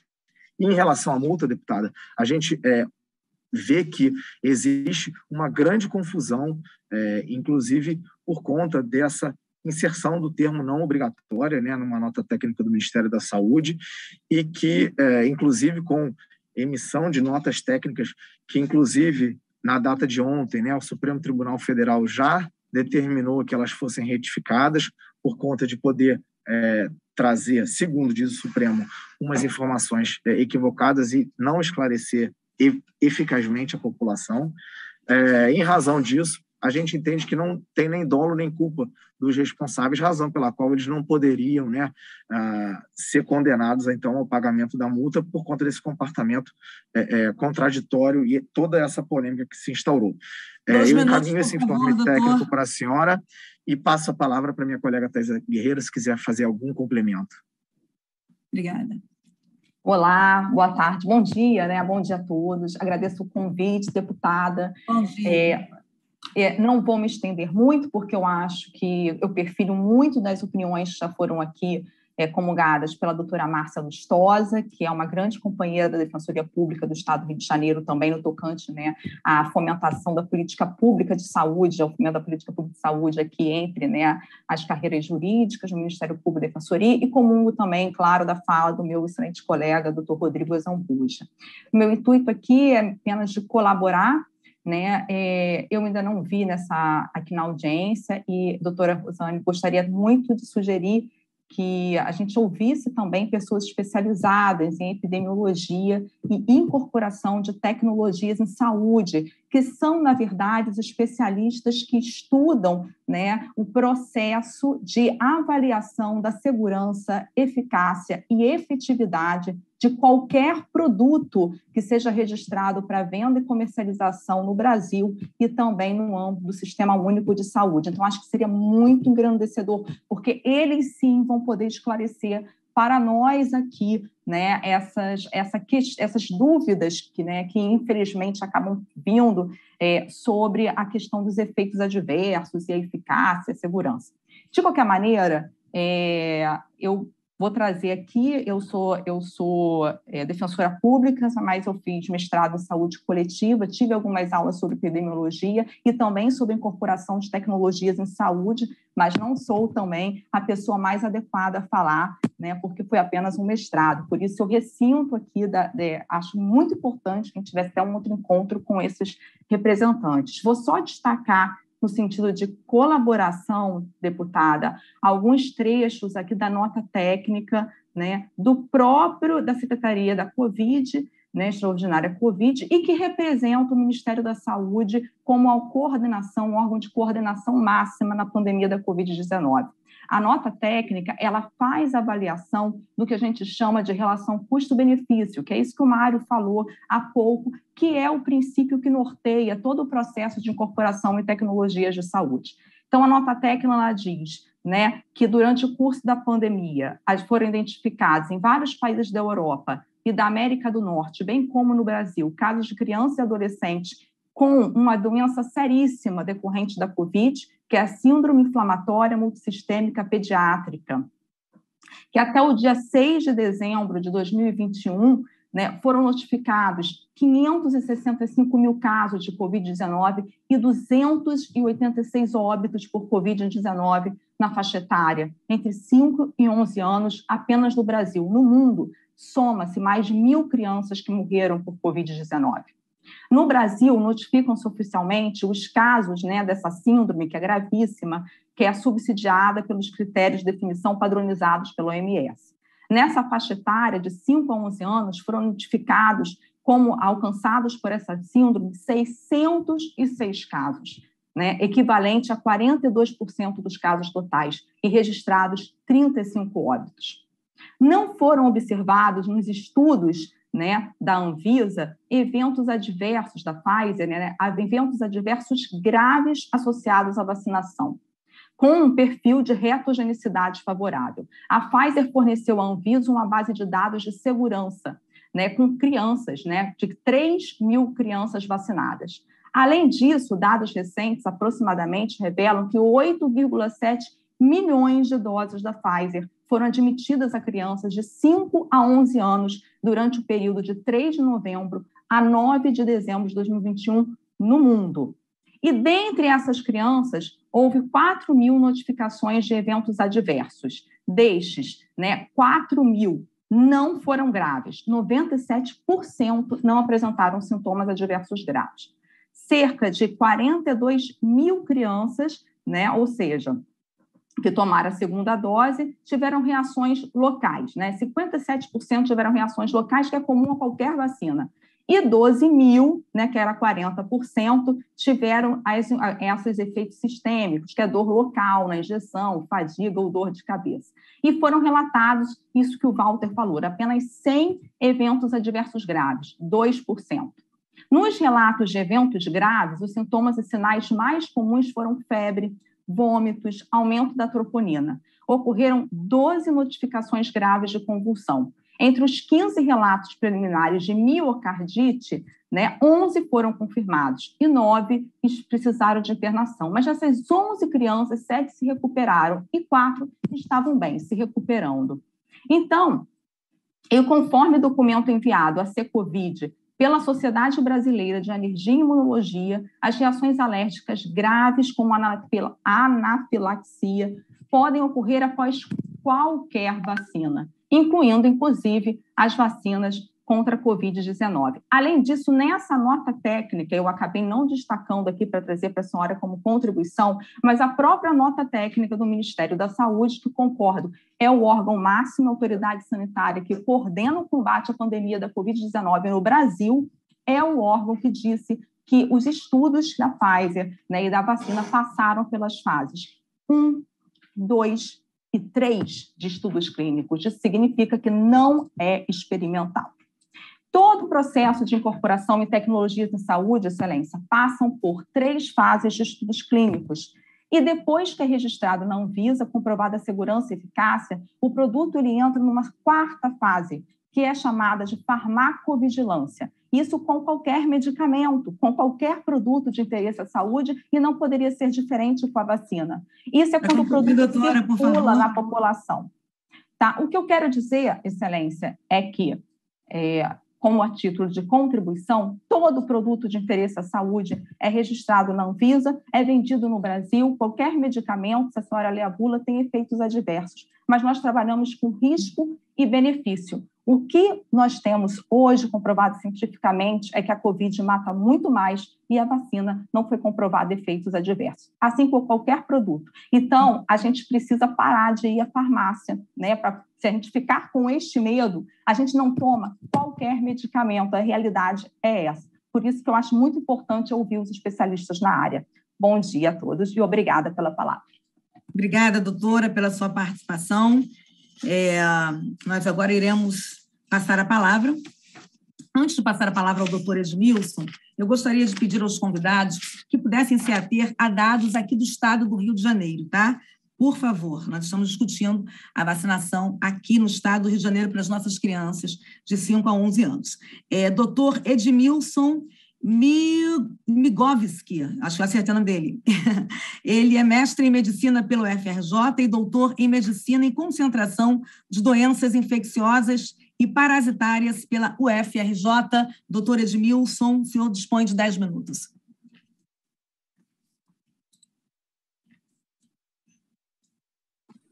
Agora sim. Boa tarde, deputado, boa tarde, demais colegas dessa, dessa mesa de debate aí. É, antes, eu queria adiantar que eu sou professor de doenças infecciosas da UFRJ e sou um apaixonado por vacinas.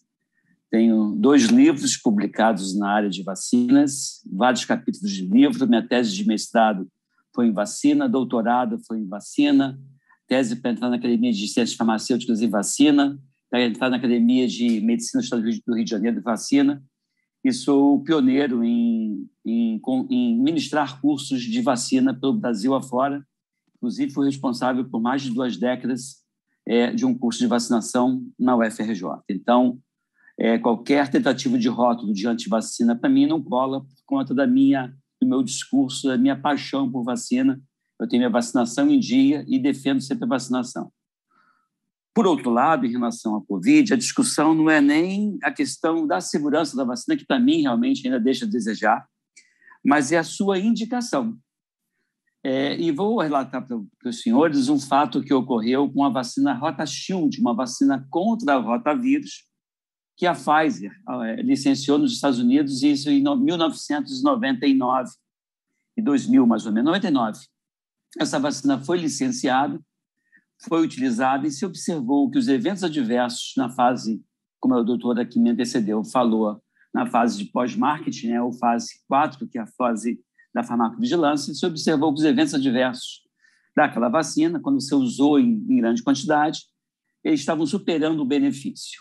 Né? Então, se observou, por exemplo, casos de invaginação intestinal, no intestino entra cuidando do outro, e algumas mortes relacionadas com a vacina, para evitar uma doença aqui nos Estados Unidos, a doença infecção pelo rotavírus, causava cerca de 20 a 25 óbitos por ano naquela, naquele país. E aí se botou no risco-benefício, não valia a pena evitar 25 óbitos se a doença, se a vacina causava mais problema. Talvez essa vacina no continente africano, não quero dizer com isso que o continente africano qualquer coisa serviria, não é isso. Mas no continente africano, a doença, rotavírus, causava muitas mortes.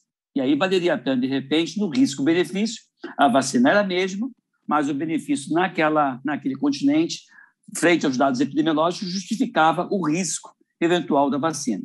Então, quando você vai pensar na vacina de crianças de, de, de 5 a 11 anos de idade contra o rotavírus, contra o, a, a, a Covid, primeiro que a cepa que está em circulação agora é a cepa Ômicron, que tudo leva a crer que a vacina não está nem aí. Aliás, a cepa não está nem aí para a vacina Tanto é que, na minha avaliação, já tem mais de 120 pacientes acompanhados só em 2022, e eu acho que é pela cepa ômicron, é porque a gente não tem todos os dados né, do Rio de Janeiro, mas dada a transmissibilidade, a gente observa que pessoas com duas doses, três doses, quatro doses da vacina. Então, aquela massa de dizer eu vou vacinar você para que você se proteja e proteja os outros não tem sido verdadeira com essa vacina frente à cepa atual.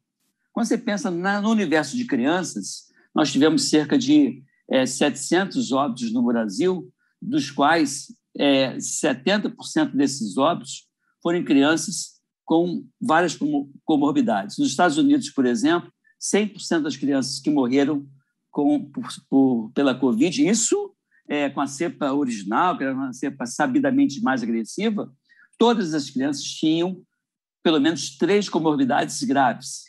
E eu não estou temperando essa discussão com a possibilidade de tratamento imediato que alguns colegas que defendem a vacina a todo e qualquer custo é, não consideram que haja tratamento com drogas que foram reposicionadas, como é o caso da ivermectina, da nitazoxanida e outros fármacos que já têm dados suficientes científicos que mostram que são drogas seguras e eficazes.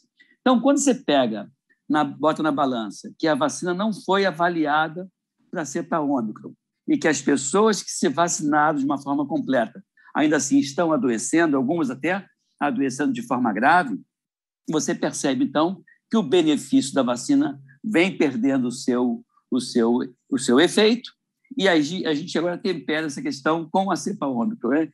Então, assim, eu acho que você, hoje, é submeter 2, 3, 4 milhões de crianças a uma vacina que sabidamente tem eventos adversos, e alguns eventos adversos que eu não consigo tratar de uma forma imediata, como, por exemplo, trombose de seio cavernoso, como foi o caso da vacina que se observa, a vacina é, da AstraZeneca, né? não com a vacina da Pfizer, mas a vacina da Pfizer tem relato de reação alérgica grave, que para mim é o de menos, já que qualquer vacina pode dar, mas é a miocardite, que embora seja uma doença autolimitada, é como se eu pegasse alguém, fizesse uma, um corte na face, esse corte vai ser autolimitado, ele vai cicatrizar, mas vai fazer uma cicatriz que eu não sei quais são as consequências dessa cicatriz amanhã ou depois no miocárdio dessa criança. Então, eu estou é, com essa balança, com essa análise de risco-benefício, perdendo muito do benefício da vacina. Não vou discutir a vacinação em crianças com várias comorbidades, que aí acho que cada pediatra vai ter que avaliar essa criança e ver se o risco da vacina justifica o benefício, que hoje é muito mais teórico do que verdadeiro. Afinal de contas, repito, nós estamos diante de uma cepa, da cepa Ômicron, que essa vacina não foi testada. Né? Não estou falando na versão original do vírus. Então, mudou o vírus e a vacina continua a mesma. Isso não é racional. Quando você pensa na vacina de gripe, que é uma vacina que a gente já tem uma grande experiência né, nessa vacina, eu, a cada ano, eu renovo, eu atualizo aquela vacina. E aí justifica, sim, você fazer uma dose da vacina a cada ano para aquelas pessoas. Mas você diz assim, ah, vamos fazer a vacinação da criança. Tá, quantas doses? Uma, duas, três, quantas doses? Então, quando a doutora fala que não é um dado experimental, a gente não tem todas as respostas que a gente gostaria de fazer, a gente não tem todas as respostas para essas perguntas que a gente tem. Então, eu acho que, nesse momento, pelo menos obrigar a vacinação é um absurdo. Cabe a cada pediatra decidir pelo seu paciente em consonância com os seus responsáveis, responsáveis da criança. Combinar, sim, obrigar, não. Até porque tem várias outras vacinas que são seguras, eficazes e sabidamente de grande impacto em termos de saúde pública, que elas nunca foram obrigatórias. Assim, obrigatórias no sentido de exigir passaporte vacinal, fazer com que a criança perdesse a sua, a sua, a sua possibilidade de frequentar as aulas presenciais. Então, essa discussão me parece muito mais uma discussão é, política do que uma discussão técnica. E, infelizmente, alguns colegas médicos estão entrando nessa, né, nessa onda. E quando se fala que a Sociedade Brasileira de Infectologia apoia, Sociedade Brasileira de Pediatria apoia, Sociedade Brasileira de Imunizações apoia, você vê que algumas pessoas se repetem nesses grupos. No outro dia, na UFRJ soltou um documento dizendo que era favorável ao lockdown. Aí você vai ver quem é que assinou. Três pessoas assinaram. Desculpa, eu não fui ouvido isso da UFRJ. Eu não fui ouvido sobre a Sociedade de Pediatria. Então, a gente percebe que existe aí um grupo, né? E olha, veja bem, eu sou mega favorável à vacina. Só que tratar com igualdade vacinas desiguais é muito desigual. É, e, e, isso vai fazer com que é, o movimento anti-vacina ganhe força. Isso está é, muito ruim para mim. Né? Tanto é que as, as coberturas vacinais para outras vacinas importantes, como sarampo, cachumba e rubéola, está despencando, porque as pessoas estão colocando no mesmo cesto, né? colocando o joio e o trigo juntos, quando na verdade tem que separar. Então, digamos, para poder entregar minha fala para a senhora, eh, deputada, se fosse uma vacina contra o ebola, com todas essas complicações, miocardite, etc., eu indicaria essa vacina na África, porque ebola circula lá, não no Brasil. Então, é importante que a gente faça essa distinção. Sem ela, a gente vai ficar é, é, sendo, no mínimo, injusto, cometendo erros e fazendo com que algumas crianças evoluam mal por conta de um produto chamado vacinas, e que não se aplicaria nesse caso. Concluindo, ia, é isso que eu queria falar com a senhora. Muito obrigada, doutora Edmilson, pela sua brilhante participação hoje aqui nessa tão importante audiência pública. Muito obrigada. É, eu gostaria agora de passar a palavra, que será hoje a nossa última participação aqui na audiência pública, é, para o doutor José, José Augusto Nasser. Ele é médico pela Universidade Federal Fluminense, especialista em neurocirurgia na Columbia University em Nova York, nos Estados Unidos, PhD em Ciências pela Universidade Federal de São Paulo, membro do Colégio Americano de Neurocirurgiões da Sociedade Brasileira de Cirurgia e da Sociedade Brasileira de Neurocirurgia, professor da Universidade de Colômbia e responsável pelo Instituto Nacional de Traumatologia e Ortopedia INTO, no Rio de Janeiro. Por favor, doutor José Nasser. Estão me ouvindo? Sim. Estão me vendo bem? Sim. Eu vou tentar compartilhar uma tela aqui, ver se é, é importante porque ela é muito importante para nós hoje. E vocês estão vendo aqui? Sim, doutor. Ok, obrigado. Eu queria começar a dizer para vocês que, ao contrário do que as pessoas narram por aí, é, os casos de Covid elas não estão caindo e não melhoraram por conta de vacina. Na verdade, é a curva viral normal. Então, o que está acontecendo? Aqui está o gráfico que a gente bem ver é? a distribuição de vacina e independência entre vacina e morte. Essa história também de dizer que, ah, vacinou porque melhora os sintomas graves e mortes, eu vou mostrar para vocês que não é assim, não é assim que funciona a matemática. Esses números, esses números foram apresentados ontem no, no Senado Federal pelo Bruno Campelo, que é um PhD em matemática e bioestatística. Então, quando ele diz isso aqui para vocês, isso significa números do próprio Ministério da Saúde, da nossa própria realidade, não transpassando outro país, nada, é nossa realidade. Então, não podemos falar coisas que os números não comprovam. O que nós estamos falando, e eu não sou antivacina, todo mundo sabe muito bem disso, eu já falei isso várias vezes, eu trabalhei, eu tenho experiência em terapia genética, então eu sei o que é terapia genética, e as vacinas indicadas aqui, que a gente está falando hoje, é a Pfizer, é a Pfizer é uma terapia genética.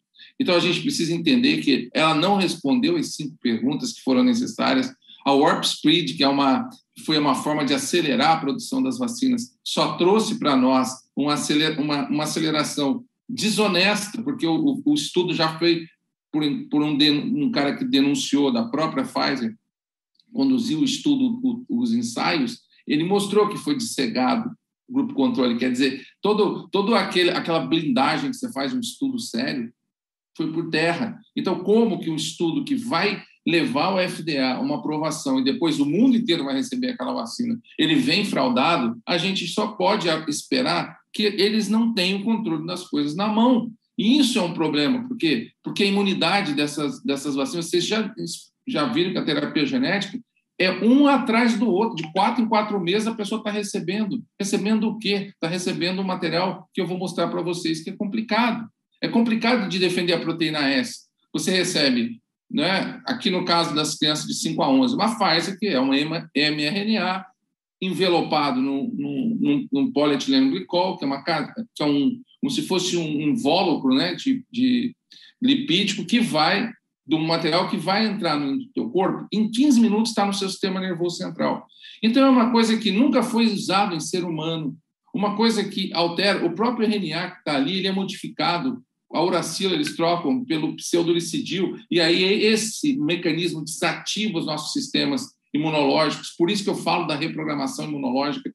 Eu quero saber, sim, doutora, quando a senhora fala que não tem nenhum efeito colateral, é muito pouco, isso está errado. Isso é completamente errado. A gente já tem. Eu vou mostrar os números aqui, porque esses números são muito importantes.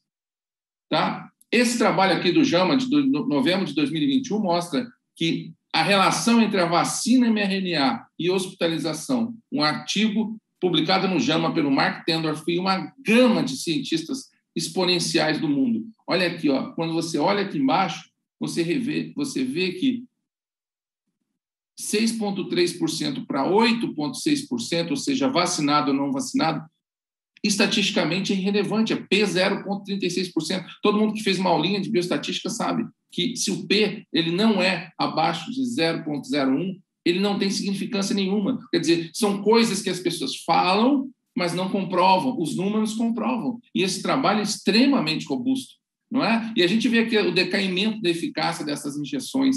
Só que o problema é, toda vez que você toma uma nova injeção, você se expõe diretamente à doença. Você se expõe diretamente às complicações desta proteína S, que eu vou mostrar para vocês aqui, que é muito complicada, não só em criança, mas também em gestante. O próprio criador, um dos criadores, um dos caras mais, um dos vacinólogos mais importantes do mundo diz: a gente errou o alvo. Essa proteína no, no nossa circulação do nosso corpo ela é tóxica. Quem vai, quem vai se responsabilizar pelas consequências? Quem vai se responsabilizar quando o Gata em Harvard e a Associação Japonesa de Saúde fazem um estudo e mostram que existe essa proteína S pelo corpo todo, pelo corpo todo, nos órgãos vitais, onde tem um receptor SE, o que isso significa? Significa que isso é uma coisa muito séria, porque ela traz muitas complicações. E a proteína Spike circula no corpo através desse artigo do próprio Instituto Salk, que é a meca da vacinologia, um ano e meio na gente. E aqui do lado, o que ela faz no nosso pulmão, nas nossas células, onde ela, ela se deposita. Defragmentação de mitocôndria. E isso que leva as pessoas a trabalhar sem oxigênio, trabalham pela glicólise.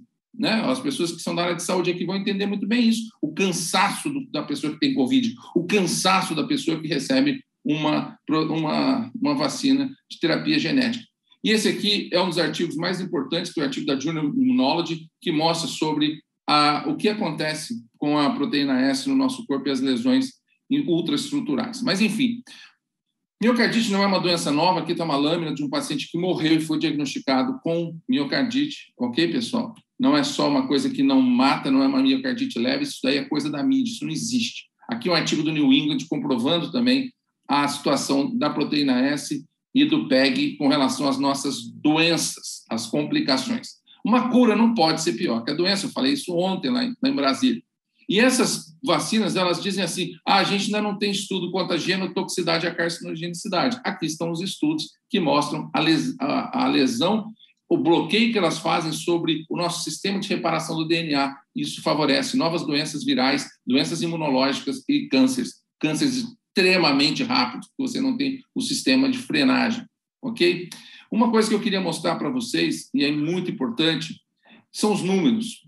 Os números de ontem do VERS, de anteontem do VERS, que é o sistema, é o placar eletrônico americano, já deu 23.149 mortes. Isso é muito mais do que isso, tá? É o estudo da Colômbia do Pantassatos mostrou que já são mais de, de 400 mil. Mas o que é mais importante que vocês saibam é que é muita gente. É muita gente, um produto que tem muita gente que morreu, e a doutora não pode dizer que não foi por conta da vacina, desculpa, mas esses pacientes só entram no VERS se eles forem totalmente, é, tiver causa e efeito mesmo, comprovação ok? E tem muita necrópsia sendo feita nos Estados Unidos, sendo feita na Coreia e comprovando que é causa e efeito. Então, assim, o produto está em teste, mas exigir obrigatoriedade?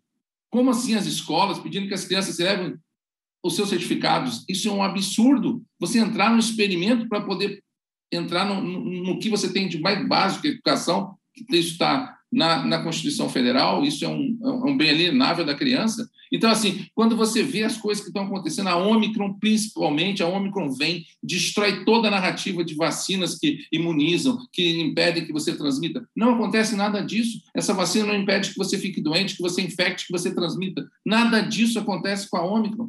Então, assim, o que nós estamos diante hoje é uma verdadeira, uh, vamos dizer assim, aberração. Por exemplo, eu hoje fiz, recebi meu exame de SARS-CoV-2, de, de, de, antígeno, né? Eu tive ômicron no final do ano. Os meus, o meu os meus anticorpos neutralizantes estão acima do topo máximo, ou seja, eu estou extremamente imunizado. Será que eu não posso ter esse documento como um documento que me diz que eu sou livre de ter que ficar sendo sancionado aí, entrar em algum lugar ou outro? Claro que sim. Claro que não é só um antígeno aqui na hora dizer que você está ou não com o vírus. É muito mais robusto, muito mais robusto, inclusive, do que essa vacinação, que não te imuniza.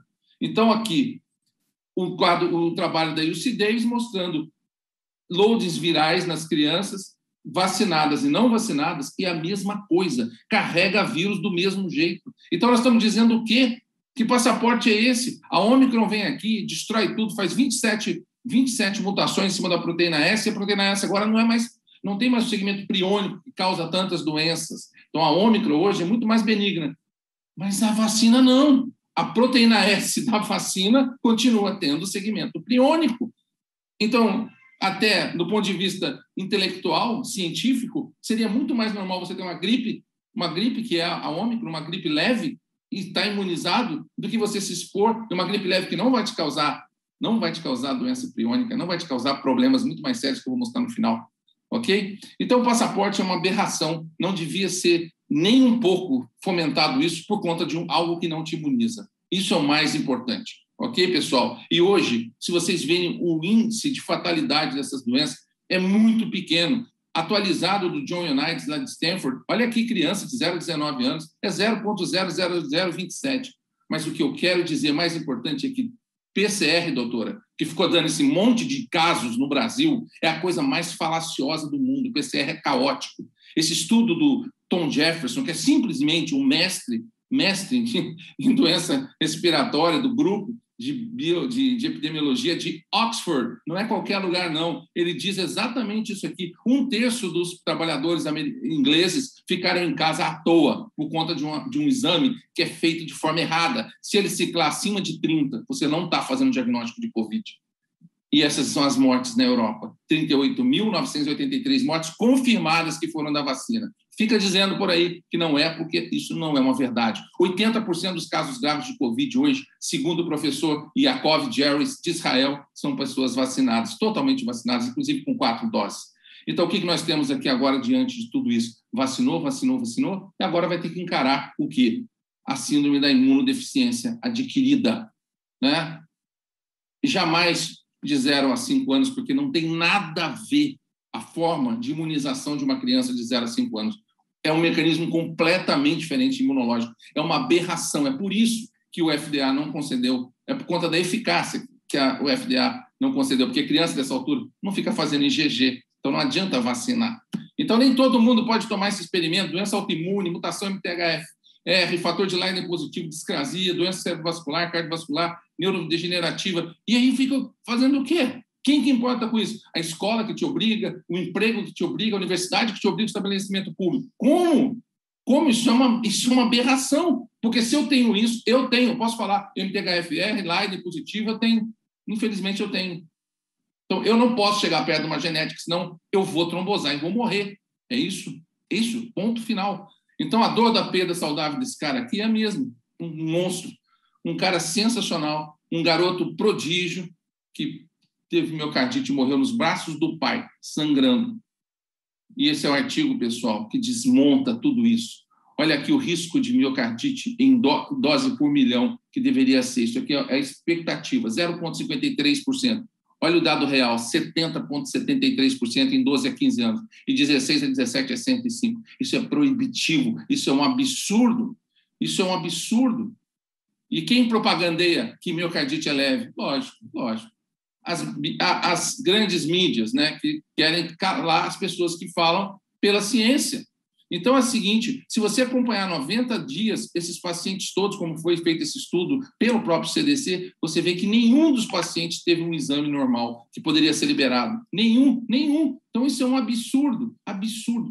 Passaporte vacinal, isso aqui dito pelo próprio governo inglês, não pode parar a transmissão da, da, da Covid nas reuniões dos jovens. Então, vamos estimular para que eles só possam entrar depois deles terem a vacina, porque a gente sabe mesmo que não acontece. Ou então essas campanhas absurdas com dinheiro. Agora são mil artigos, doutora, mil artigos PDF. A senhora pode entrar no, no, Senado Federal e pedir esses artigos que eu deixei lá, muito bem expostos, vocês podem baixar sobre complicação. E esse é o grande problema. Eficácia da vacina, como no começo era 95%, como a Pfizer fazia, com aquele estudo dela, ok.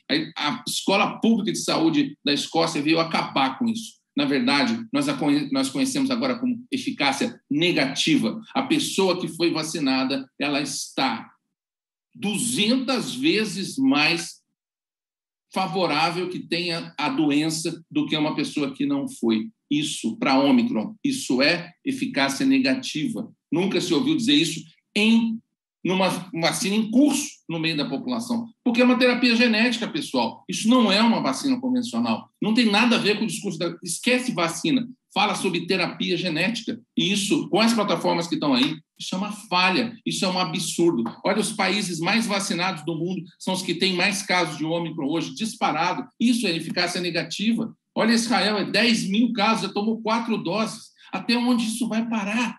Até onde vai parar? Olha, a Índia, a África, quase não tem, porque lá não se vacina. Lógico, as pessoas são reticentes, as pessoas, as pessoas já conhecem o poder das farmas no mundo. Elas sabem que quantas vezes ela já foi cobaia. Então agora elas param, elas refletem, elas seguem os médicos que dizem existe tratamento para essa doença. E ninguém pode sensibilizar as pessoas por dizer o mundo teve Covid. Isso é uma mentira, isso é uma falácia. Essa doença não é uma doença mortal, essa doença tem tratamento, se for feito da forma correta. Existem pacientes imunocomprometidos, alguns pacientes, isso sim, mas mesmo neles, quem teve a experiência de tratar uma gama de pacientes, e, e pode falar o Migovski, pode falar todos nós, os médicos pela vida, a gente está acostumado a tratar os doentes que vocês diriam que seriam os exemplos para poder colocar uma vacina e esses pacientes ficam bem sem ela. Isso que é o mais importante. O importante é o que nós temos na mão. O importante são dados. E esses dados mostram que o mundo hoje está abrindo. O mundo hoje está abrindo de novo. Dinamarca, Finlândia, Irlanda, é, partes dos Estados Unidos, a própria Inglaterra, não é? E o que o mundo está fazendo? E, e, onde que estão se pedindo passaporte vacinal? Da onde que a coisa está necessitando disso? para algo que não te protege. Então, eu vou dizer uma coisa para vocês. Sabe qual é o mais que eu queria acabar com essa, com essa, com essa palestra hoje, falando para vocês aqui? Ó. Estatística Nacional Inglesa. Eles fizeram um levantamento muito importante com autópsias de fevereiro de 2020 a dezembro de 2021. Pacientes que tinham morrido de Covid, ok? Pasmem, pasmem que vocês vão achar. Nunca foi Covid. Abaixo de um ano, zero. 1 a 4 anos, 0. 5 a 9, 0. 10 a 14, 1. 15 a 19, 0. 20 a 24, 1. 20 a 25, 3. 30 a 34, 7. Vai subindo. Vou botar em gráfico. Perfeitamente o gráfico da Covid normal, que todo mundo já sabia desde o início.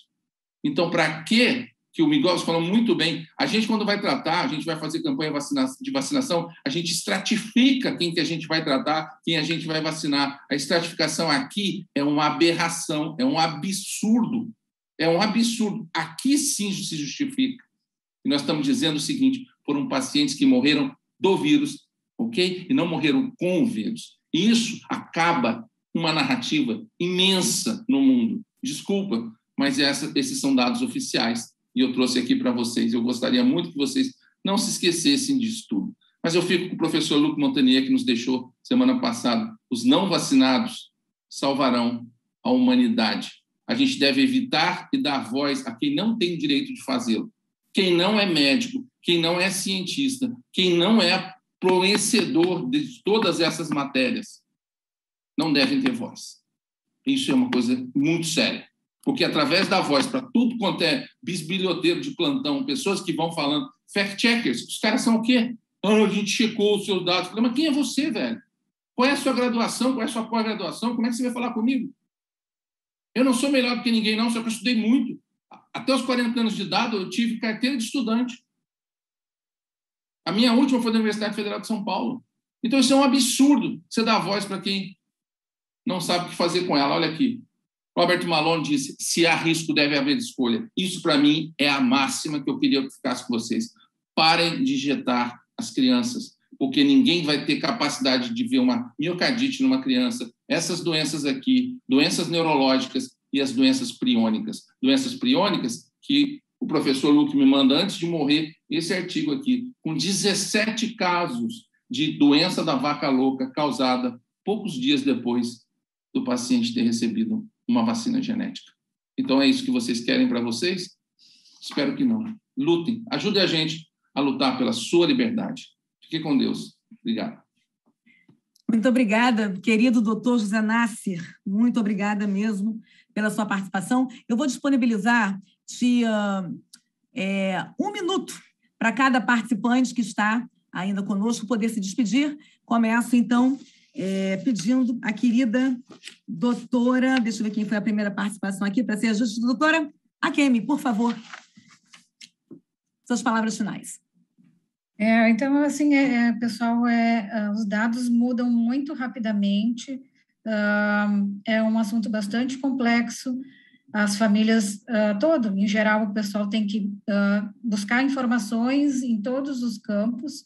Sim, essas vacinas, esses produtos são experimentais, estão na fase 3, então tem que olhar no site do clinicaltrials.gov, que é um site oficial do governo norte-americano, Lá são registrados, então, todos os ensaios clínicos, qualquer mudança fica registrada, e os estudos estão em fase 3, previstos na, na Pfizer para terminar em 2026. Então, os dados, os dados são preliminares, e como eu mostrei ali os dados, os slides do, da própria Anvisa sobre a Coronavac também, uh, dados, uh, estudos em andamento. Então, a própria Anvisa dizendo que os estudos são dados preliminares. Então, elas são experimentais, não são produtos prontos, e os pais têm todos, todo o direito de, de ficarem em dúvida, de, de pesquisarem mais e fazerem suas escolhas, né? Então, jamais, eu acho que forçar isso aí é uma coisa realmente, como disse o Nasser, é uma aberração, né? É uma coisa inimaginável, né? Forçar as famílias a vacinarem seus filhos com, com produtos que não estão prontos. Né?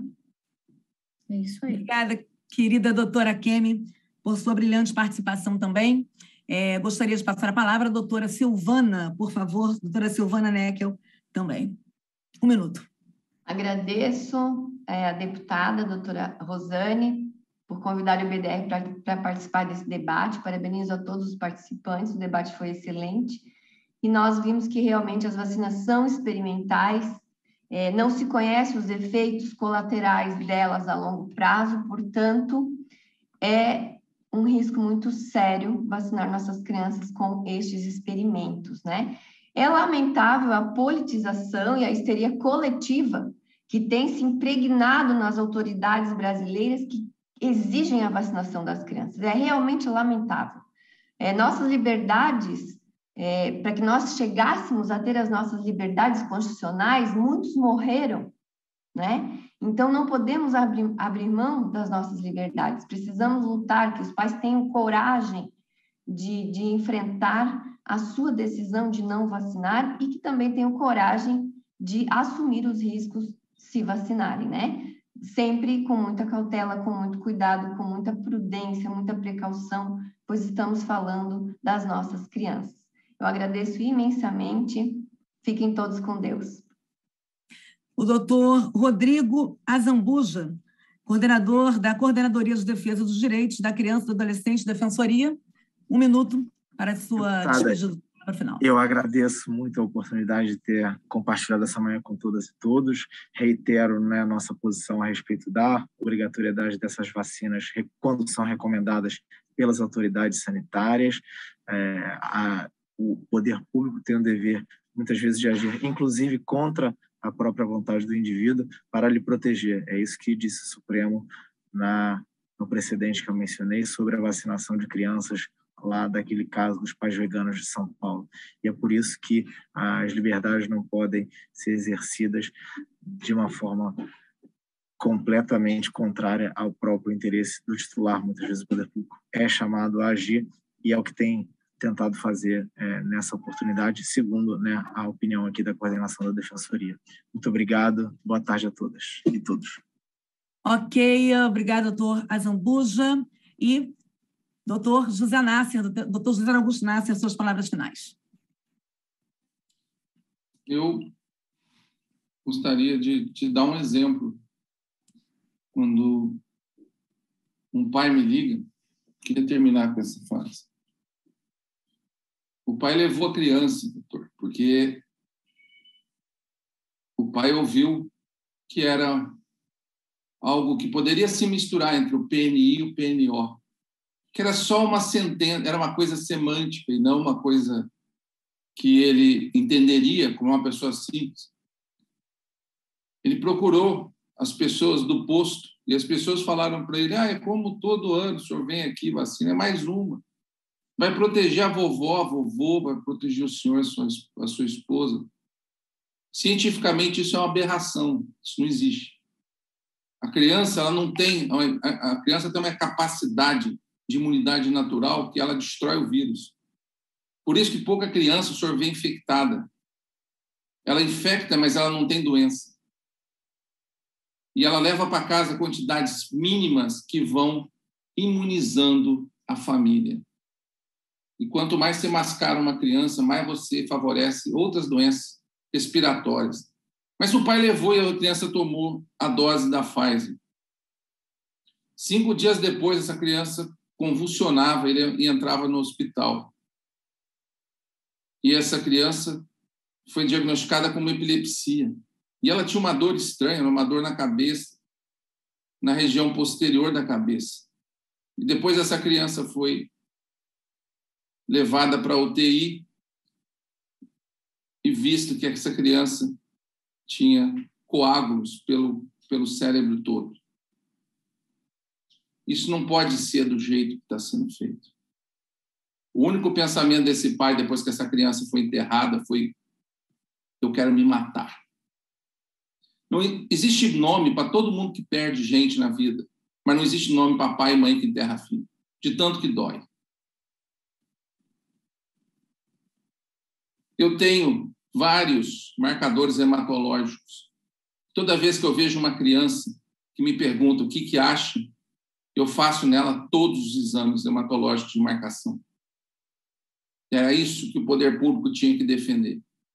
Em primeiro lugar, antes de falar disso, tinha que fazer um screening hoje de quais são aquelas crianças que não vão acontecer o que aconteceu com esse, com esse filho. Isso é uma, uma das complicações que eu mostrei mas vocês não vão aguentar ver crianças com doença priônica. Isso vocês não vão aguentar. Ver esponde, esponde, encefalopatia espongiforme, que é a doença da Medicol. E isso só vai crescer. E a doença imunológica também, por excessos de vacinação. Essas crianças estão, estarão indo para exaustão imunológica e morrerão. Morrerão de síndrome da imunodeficiência adquirida como está acontecendo em Israel. Isso não é conversa fiada, isso é ciência, one by one. O que eu trago para vocês sempre é tudo que me atualiza no mundo. Graças a Deus, hoje eu faço parte do panda.org. Vocês podem entrar lá, pandata.org, onde tem os maiores cientistas do mundo e médicos de defesa, defesa da verdade. E esses caras, o tempo todo, bombardeiam o mundo com informações relevantes estatísticas e tudo. E vou dizer para o senhor, naquele dia do Ministério da Saúde, onde foi aprovado esse sistema, todos os que estavam defendendo, doutor, estavam simplesmente com seus conflitos de interesse não declarados, viu? E a gente declarou, e a gente publicou, a gente mandou para o Ministério da Saúde e para a Anvisa, porque isso é um absurdo. Ninguém pode entrar lá com carimbo no, no macacão escrito Pfizer para defender um produto dela. E ele estava do meu lado e não sabiam que eu era um dos palestrantes. E eles, eles abraçaram entre eles e falaram: Nós estamos juntos nessa. Então, assim, é isso que eu posso dizer para vocês. É o testemunho de um médico. Eu sou médico, eu não sou burocrata. E essas decisões foram muito no mundo, desde a instituição do lockdown, que eu, eu não tive tempo de apresentar, porque o trabalho do Johns Hopkins, mas se vocês quiserem, está na palestra de ontem, está lá disponível no Senado, onde vocês vão ver a falácia que foi o lockdown. A falácia, 0,2% de prevenção de morte global. Isso não existe para o que aconteceu com, com as consequências de colocar crianças na linha da pobreza. E fora adultos, jovens e crianças que morreram, que se mataram. Eu nunca vi tanto suicídio aqui no Copacabana, que eu sei, foram meia dúzia. Que eu sei, gente que eu conheço. Isso que aconteceu para o mundo, isso está acontecendo. Então, nós precisamos acabar com, toda, com todo esse bloqueio que existe científico sobre todos aqueles que, de, que falam, que colocam os dados e são censurados e são bloqueados e são tratados como pessoas negacionistas. Ontem saiu uma, uma manchete, uma manchete dizendo que o Senado abre a palavra para pessoas que falam fake news. Desculpa, a foto era minha. Então espero que o fake news jamais seria convidado para subir no Senado Federal, se não fosse. Nasser, por favor. Obrigada por sua participação. Gostaria de agradecer a todos. Todos já falaram? Todos já se despediram, por favor? Todos já se despediram? Estou vendo. Ok. Pelo que eu estou vendo, sim, né? É, gostaria de, mais uma vez, agradecer a você que está aqui nos assistindo pela TV Alerj, através do YouTube, muitas participações aqui. É, estamos aí chegando ao final desta audiência pública. Com certeza foi uma audiência muito elucidativa. Tivemos opiniões divergentes, mais elucidativa, eu gostaria que, a partir de agora, você que é responsável pela criança, você pai, você mãe, você decida. Né? Tivemos aqui é, um posicionamento sempre de forma é, cordial, respeitando as opiniões, e agora cabe a você, responsável, decidir, tá bom? É, um abraço a todos, obrigada a todos que participaram, todos os convidados e a todos que estão nos assistindo através da TV Alerj. Cumprimos aí o nosso papel de promover o diálogo e trazer esclarecimento à nossa população. Como presidente da Comissão da Criança, Adolescente e Idoso, eu quero agradecer mais uma vez a toda a minha equipe também e a todos que participaram. Declaro encerrada esta audiência pública. Boa tarde a todos.